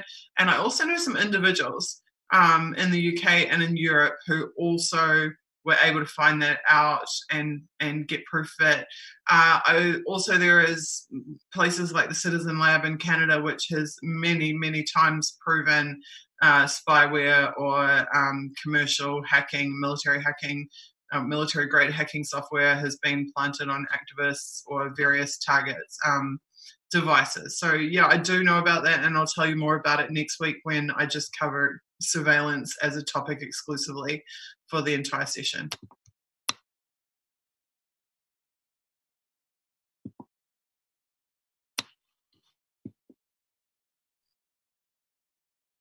Wow, you guys, chat's moving so fast.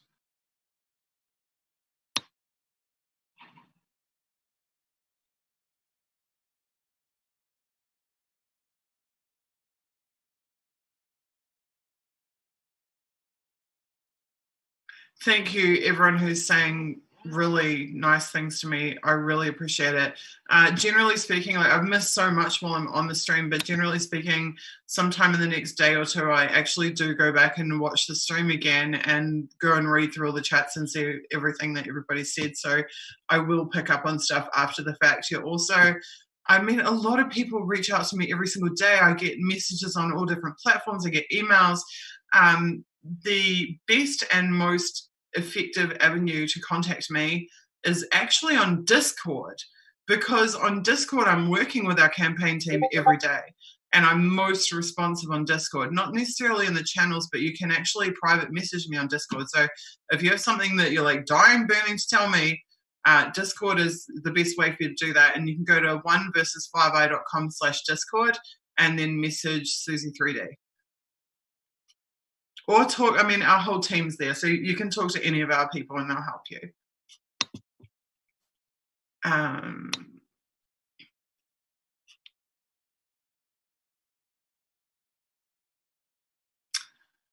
someone is asking Tulsi Gabbard is or was on the Council of Foreign Relations. I've heard.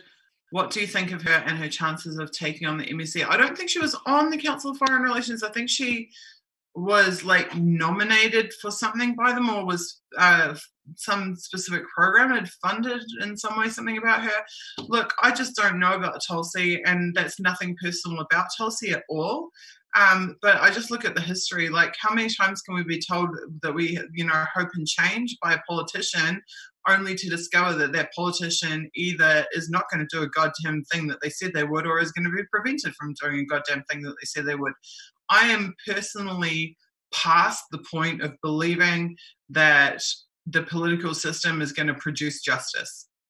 I am way past that point, whether it's uh, Sanders or Warren or Tulsi Gabbard or whoever the hell.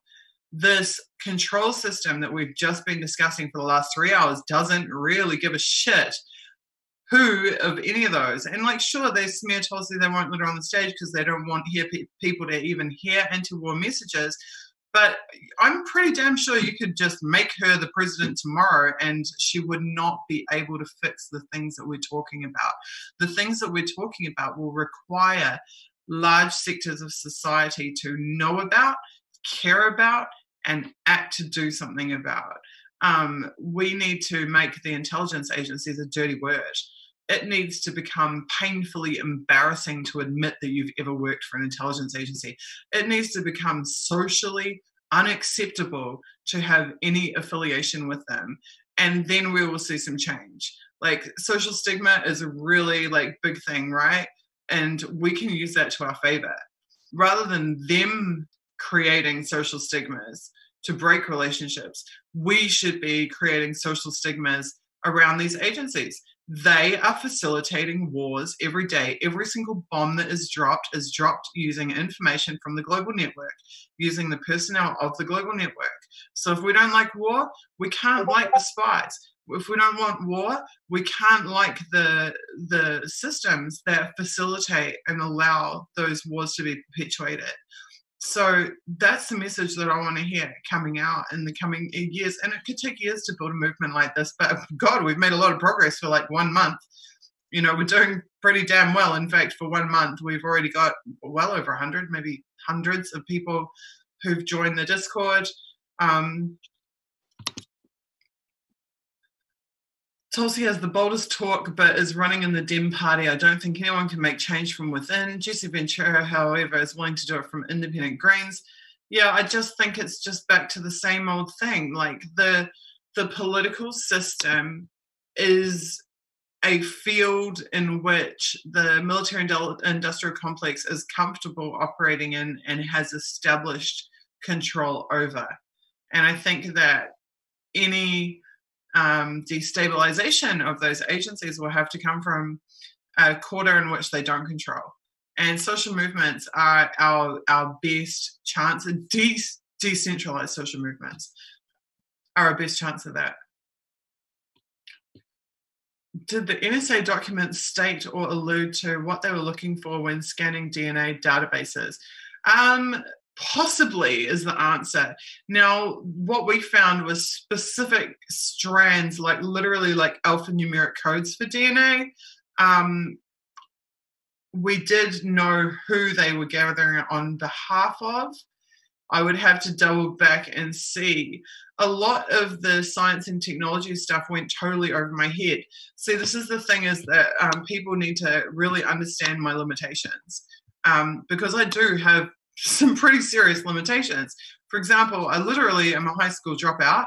I was great at some subjects, I was even advanced at some subjects, but I was also terrible abject failure at other subjects. One of those subjects was science. I totally flunked, failed science so bad. I've never had any interest in science. It's just not my thing.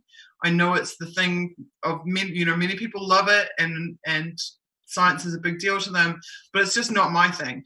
So when I'm studying thousands of NSA documents, I might go, oh, that's interesting that they're looking at DNA. but I would not have a goddamn clue about any of the scientific language, etc., that's being employed around that.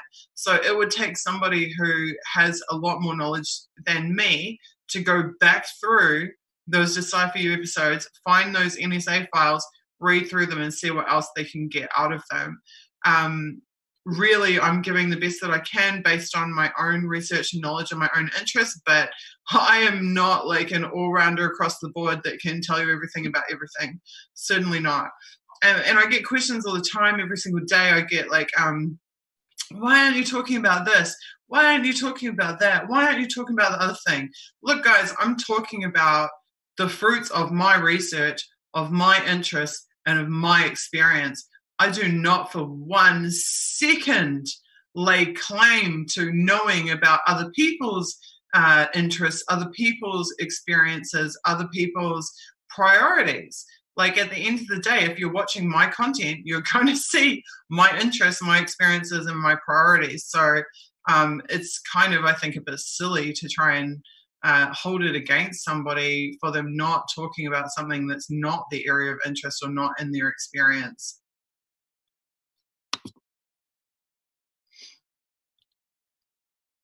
Okay, classic example. Slow News Day has said to me, Suzie, do you plan on having a discussion on somnambulant torture? I don't even know what somnambulant means. I would literally have to go and type that into a like online dictionary and find out what it means. I'm assuming that it means something like around sound waves or something like this. I don't know. I can tell you quite a bit about um, weaponry that has been employed against protest movements that that is uh, sonar based. But like I said, I'm guessing that that's what even what somnambulant means. So, Slow News Day, there's probably a good chance that you will obviously know more about that topic than me. And I'm very, very happy for people who know more than I do about different topics to pursue those different topics to the best of their ability and, and to get that information out. I'm not trying to stymie doing so just because I don't know about something. Okay, someone's saying sleep. See, there we go. I didn't even have a clue that that's about sleep, right? I can tell you about what I know about, but I can't tell you about things I don't know about. So I'm sorry, epic fail on that front on my part. Someone says, "Gotta love that New Zealand humility." well, it's so true. You know, things I've spent nine years studying, I can tell you about, but things that I fucking flunked when I was fifteen, I definitely can't tell you about. Sorry. Okay, last call for questions. I'm about fourteen thousand comments behind.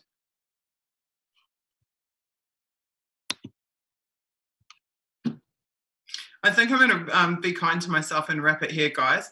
I really wanted, and ladies, I really wanted to do a shorter stream tonight um, because I'm balancing a lot of other things.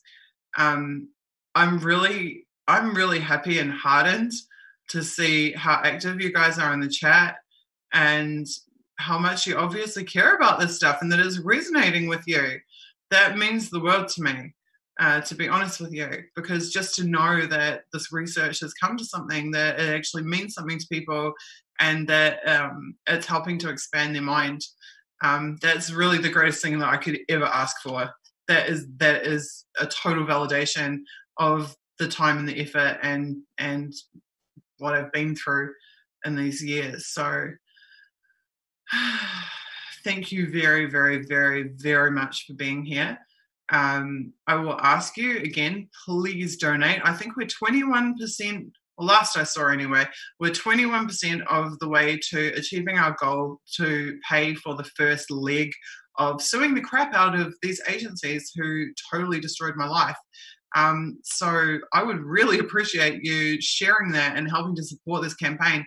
For years, I had no hope whatsoever that I would ever even be able to try to get any justice for what had been done. Um, I can't even begin to tell you what these people cost me. Um, I don't even want to go there because emotionally I can't. That's like a, a, whole other thing. But they cost me damn near everything. um, accept our lives, and that's somewhat of a miracle.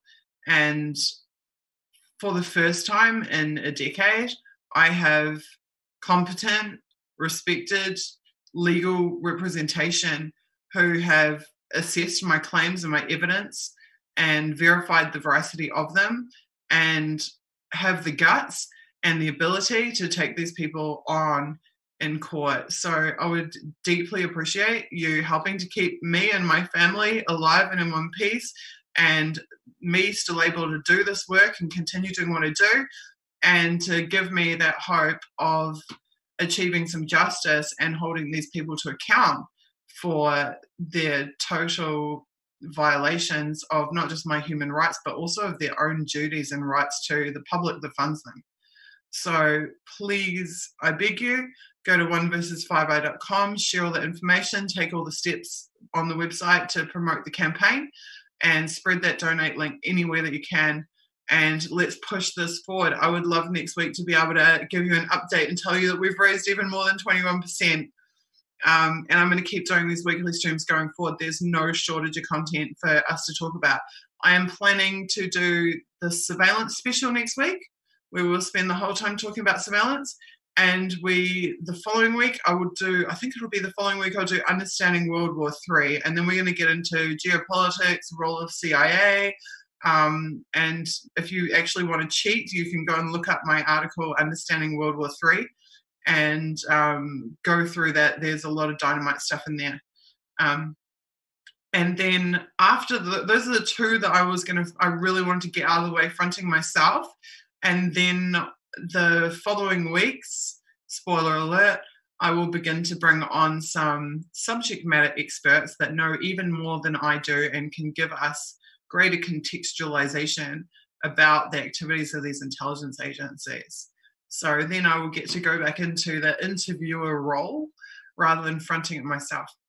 Okay, I love you all. Thank you for the myriad amazing comments and all the feedback. And I will talk to you throughout this week. I will get a short campaign video out to an update video sometime this week. Thank you to my amazing tech team. Thank you to the incredible social media team operating on God knows what, six, seven, eight different platforms right now to promote this. Thank you to everybody who has watched it, to everybody who cares about this information, to everybody who spends their time absorbing and discussing this instead of watching the Kardashians or something. Thank you so much. Take care, and I'll see you next week.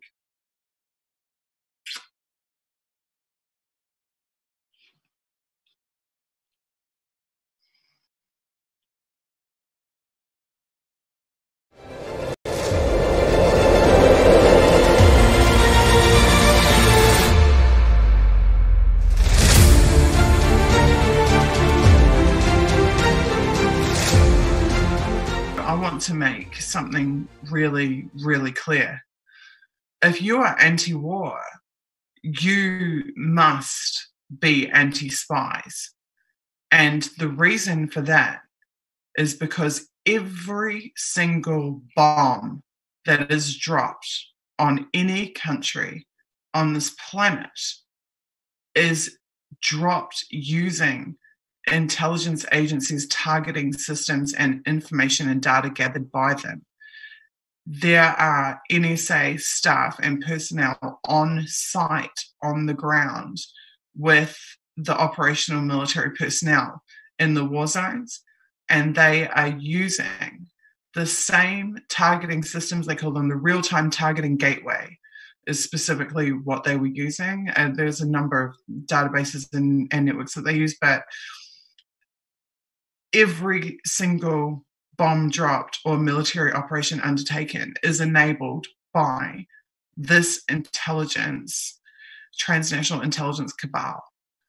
And the targeting that has been brought home to citizens around the world, the targeting of citizens in our home countries around the world, uses that same military targeting process and the same targeting systems um, against us in our home territory.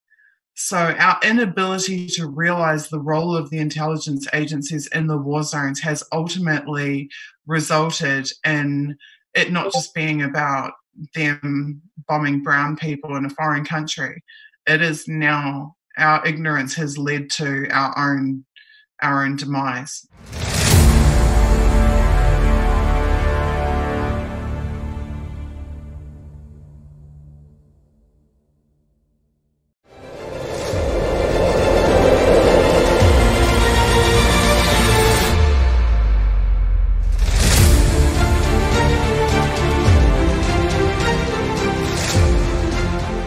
So yet again, we see that these so-called oversight um, mechanisms are just completely uh, inept and irrelevant, unable to perform their tasks. Um, they don't have sufficient uh, mechanisms to uh, hold these agencies to account. And ultimately, when these agencies are running roughshod over the court system in the ways that I've already discussed, they're running roughshod over the political system and the democratic system in the ways that we've already discussed.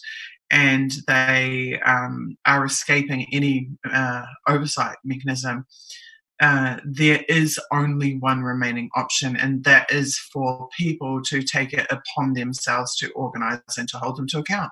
That's it. We know the media is not going to do it. We know the media has been completely infiltrated by these agencies, which is yet another topic for another show. Um, but if the media won't do it, if the political sphere can't do it, if the courts can't do it, and if oversight mechanisms can't do it, it's on you and me, guys that's it. It's on you and me and all of us. Uh, and as far as I'm concerned, I mean, the greatest polluters on this planet are the military, the greatest perpetuators of war on this planet are obviously the militaries. And every single one of these countries that has a partnership agreement with the global network is facing privatization agendas, austerity agendas, widespread cutting of social services, uh, GMO, you know, poisoning of the food chain, uh, theft and or contamination of the water. Um, the infrastructures are privatized and sold off. Local manufacturing is killed. These mass trade deals are implemented to undercut, again, to enhance corporate power and corporate profits and to undercut um, everyday people and the social and economic outcomes for the nations who are partnered with the global network are consistently getting worse, just like they have in New Zealand. The countries who partner with the global network are destroyed. Ultimately, they're socially and economically destroyed. So it's not even that giving them all of our data and letting them mass surveil us and everything is turning some kind of profit. It's not. It's actually putting us in a worse situation uh, than we've ever been in. So subjugation or becoming a vassal state of the global network is not improving the quality of life for anyone. To the contrary it's it's destroying our quality of life. And that is yet another reason that we've got to take them on. They are bleeding uh, their own countries dry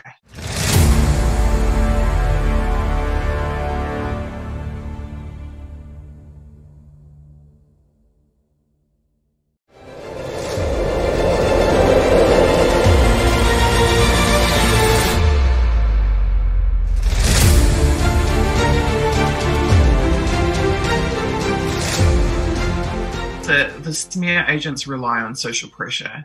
So they rely on guilt by association and, and social pressure. So you've got to be the type of person that isn't um, isn't scared to uh, take an opinion that's contrary to whatever is being uh, publicly pushed or whatever is uh, seems to be socially acceptable. You have to be willing to speak the truth because it's the truth, and not speak what everybody else is saying because then you get social credit for saying the same thing as everyone else.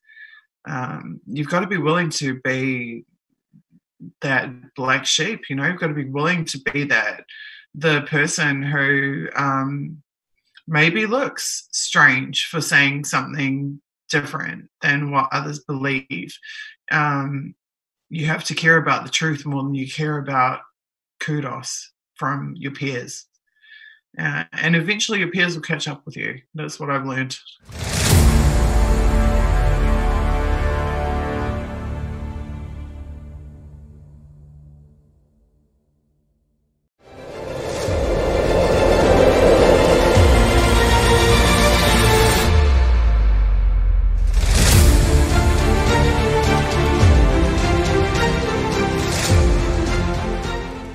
To the conclusion after years of all of this study and learning everything that I have learned that those systems have got to go. They have got to go. They have got to be defunded, shut down, got rid of, goodbye, no more. Whether it is by the means that Iowera Jacob Appelbaum talked about when he said what we need to do is go to the Utah data storage facility of the NSA and shut off the water because without water they can't have the cooling systems for the computers that are that they need to store all of this data that they're stealing from everybody that they're spying on through mass surveillance whether it is through a mass movement whether it's civil disobedience or through um, a coordinated mass movement I am not okay. Personally, I am not okay with an international intelligence cabal not only facilitating the murder of millions of people in war zones across the planet, but also targeting an ever expanding section of society um, domestically within their own countries. I'm not okay with that. I'm not okay with them superseding and watering down and abusing law in the legal process. I'm not okay with them destroying due process and bastardizing the the entire judicial system. I'm not okay with them undermining the entire political system and turning it into nothing but a puppet reality TV um, theatre show while they do whatever the hell they want to in the background. I'm not okay with them killing people quickly in wars, and I'm not okay with them killing people slowly domestically in our own countries. And I'm sure as hell not okay with saying nothing about it and pretending that everything's fine and worrying about, you know, what movie I'm going to see this week. I'm not okay with any of that. And if I'm the only person on planet Earth that gives a shit, I'm still going to sit here and say this because I'm not okay with that. And none of us should be okay with that.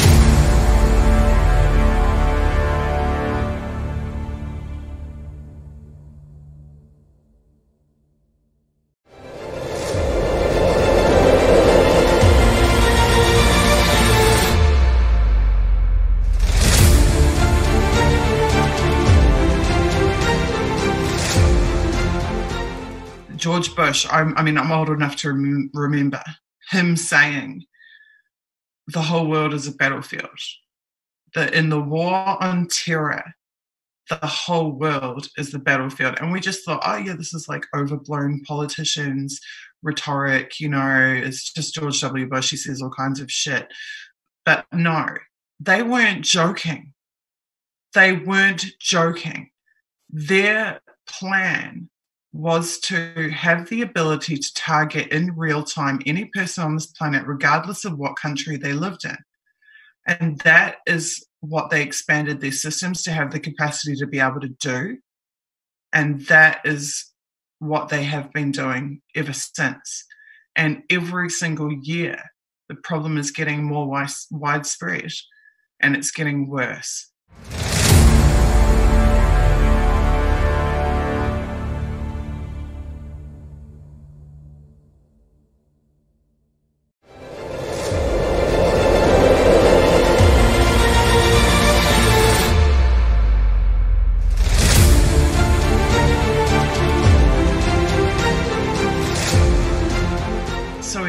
Already. I, I predicted it years ago. I said, even in my documentary in 2016, I said, eventually they will have to target, they will expand to target all sectors of society.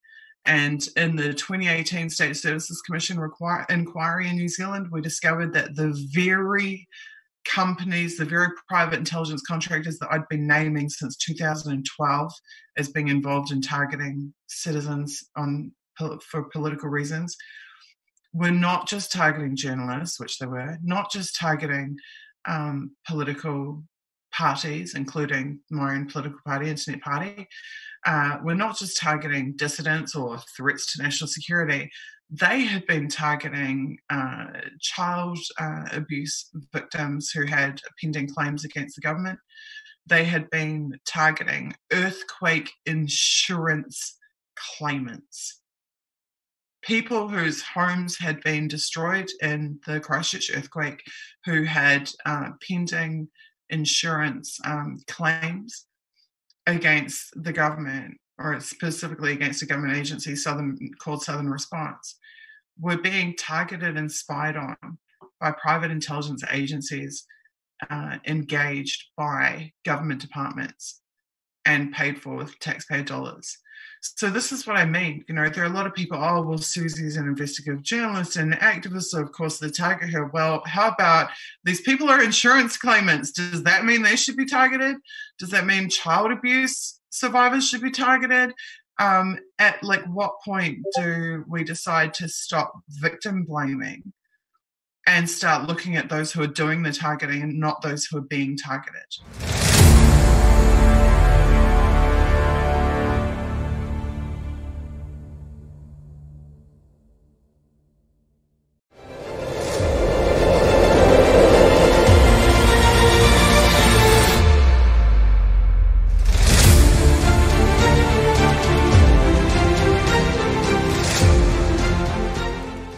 Also wanted to talk tonight about risk. Risk, um, because risk there's there's two types of risk. There's a risk that we face as activists and journalists, and there is the risk, the fear-driven risk that these agencies are obsessed with because the, the greatest irony is that for all of their trying to instill fear in other people, these agents are really scared. They're constantly scared. They live in a constant state of fear. They consider um, what they do to be risk management. And if you've read an article that I wrote called Glenn Greenwald and the Irrelevance of Electoral Politics, I wrote that in 2014 after Glenn had appeared in New Zealand. Um, and in that, I talk about how one of the principles of business is risk management and how the intelligence agencies view everything that they do uh, in terms of risk management. Um, the risk, they think of the risk to um, themselves and they're constantly obsessed with minimizing risk. Um, so, whereas we as activists and journalists think about overcoming fear and taking risks, we consciously take risks. Like, I consciously take risks all the time because the principle is more important to me than trying to personally stay safe. Uh, the spies are the opposite. The spies are absolutely fucking petrified of risk and everything that they do, the, their obsession with deniability, their obsession with cover, their obsession with uh, creating legends, manufactured falsehoods, lies is all about trying to minimize the risk to themselves. So the Julian Assanges of this world set aside any fear of personal risk for principle, and the spies set aside principle uh, to minimize personal risk.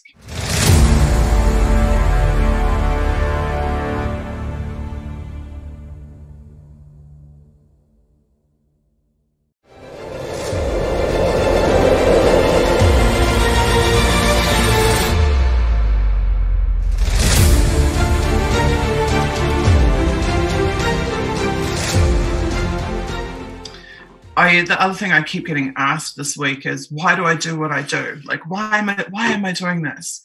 Um, well, it's pretty simple from my perspective, really. So I'm acting on principle primarily because, like I said, I'm not okay with what is being done and i'm not okay with just sitting around and waiting for the continuation of it and for the, it to continue to get worse at the pace that it has been getting worse. I mean think about it it's only been like really 20 years that we've gone from you know the shock and awe to full on dystopia. Like it's actually been less than 20 years. Um, and things are not getting better of their own accord. Um, but the other reason I keep getting told, like, oh, you're so brave, you're taking such a big risk. Um, these agencies put me through hell in New Zealand. The you know, I tried to talk, I, I did as much as I could to explain in my one hour documentary in 2016 as to what I'd actually been put through. Um, but they consciously and deliberately uh, terrified, and I'd say petrified is actually the right word. They petrified me on a daily basis um, through myriad uh, means and ways, and they endangered me over and over and over and over again. And the net result of them doing that to me uh, immunized me to it because you actually can't live in a state of permanent fear. And at a certain point, you no longer have a fair response to the bullies who are doing that to you. It's like every kid who gets bullied and bullied and bullied and bullied, you know, eventually they have that day where they snap. Well, I definitely got to that. it didn't take me that long, really. I got to that and I started thinking, you know what? I don't care if you guys have billions of dollars and I have nothing. I don't care if you guys have tens of thousands of personnel and I have a ragtag team of six people in a citizens media team. I am going to fight you tooth and fucking nail because what you are doing is immoral and unethical and anti human, and you have no right to do it, no matter how many laws that you write to suit yourselves, no matter how many times you indemnify yourself retroactively, no matter what justification you come up with, no matter how many politicians you bribe or buy, no matter how much technology you, you develop. You don't have a natural right to any of it. And we do have natural rights as citizens. We do have natural rights as human beings. And that has to that has to count for more than the artificial uh, power that is uh, seized and uh, monopolized by these agencies. And it's going to take us standing up to them and telling them, no, no, you cannot keep doing this.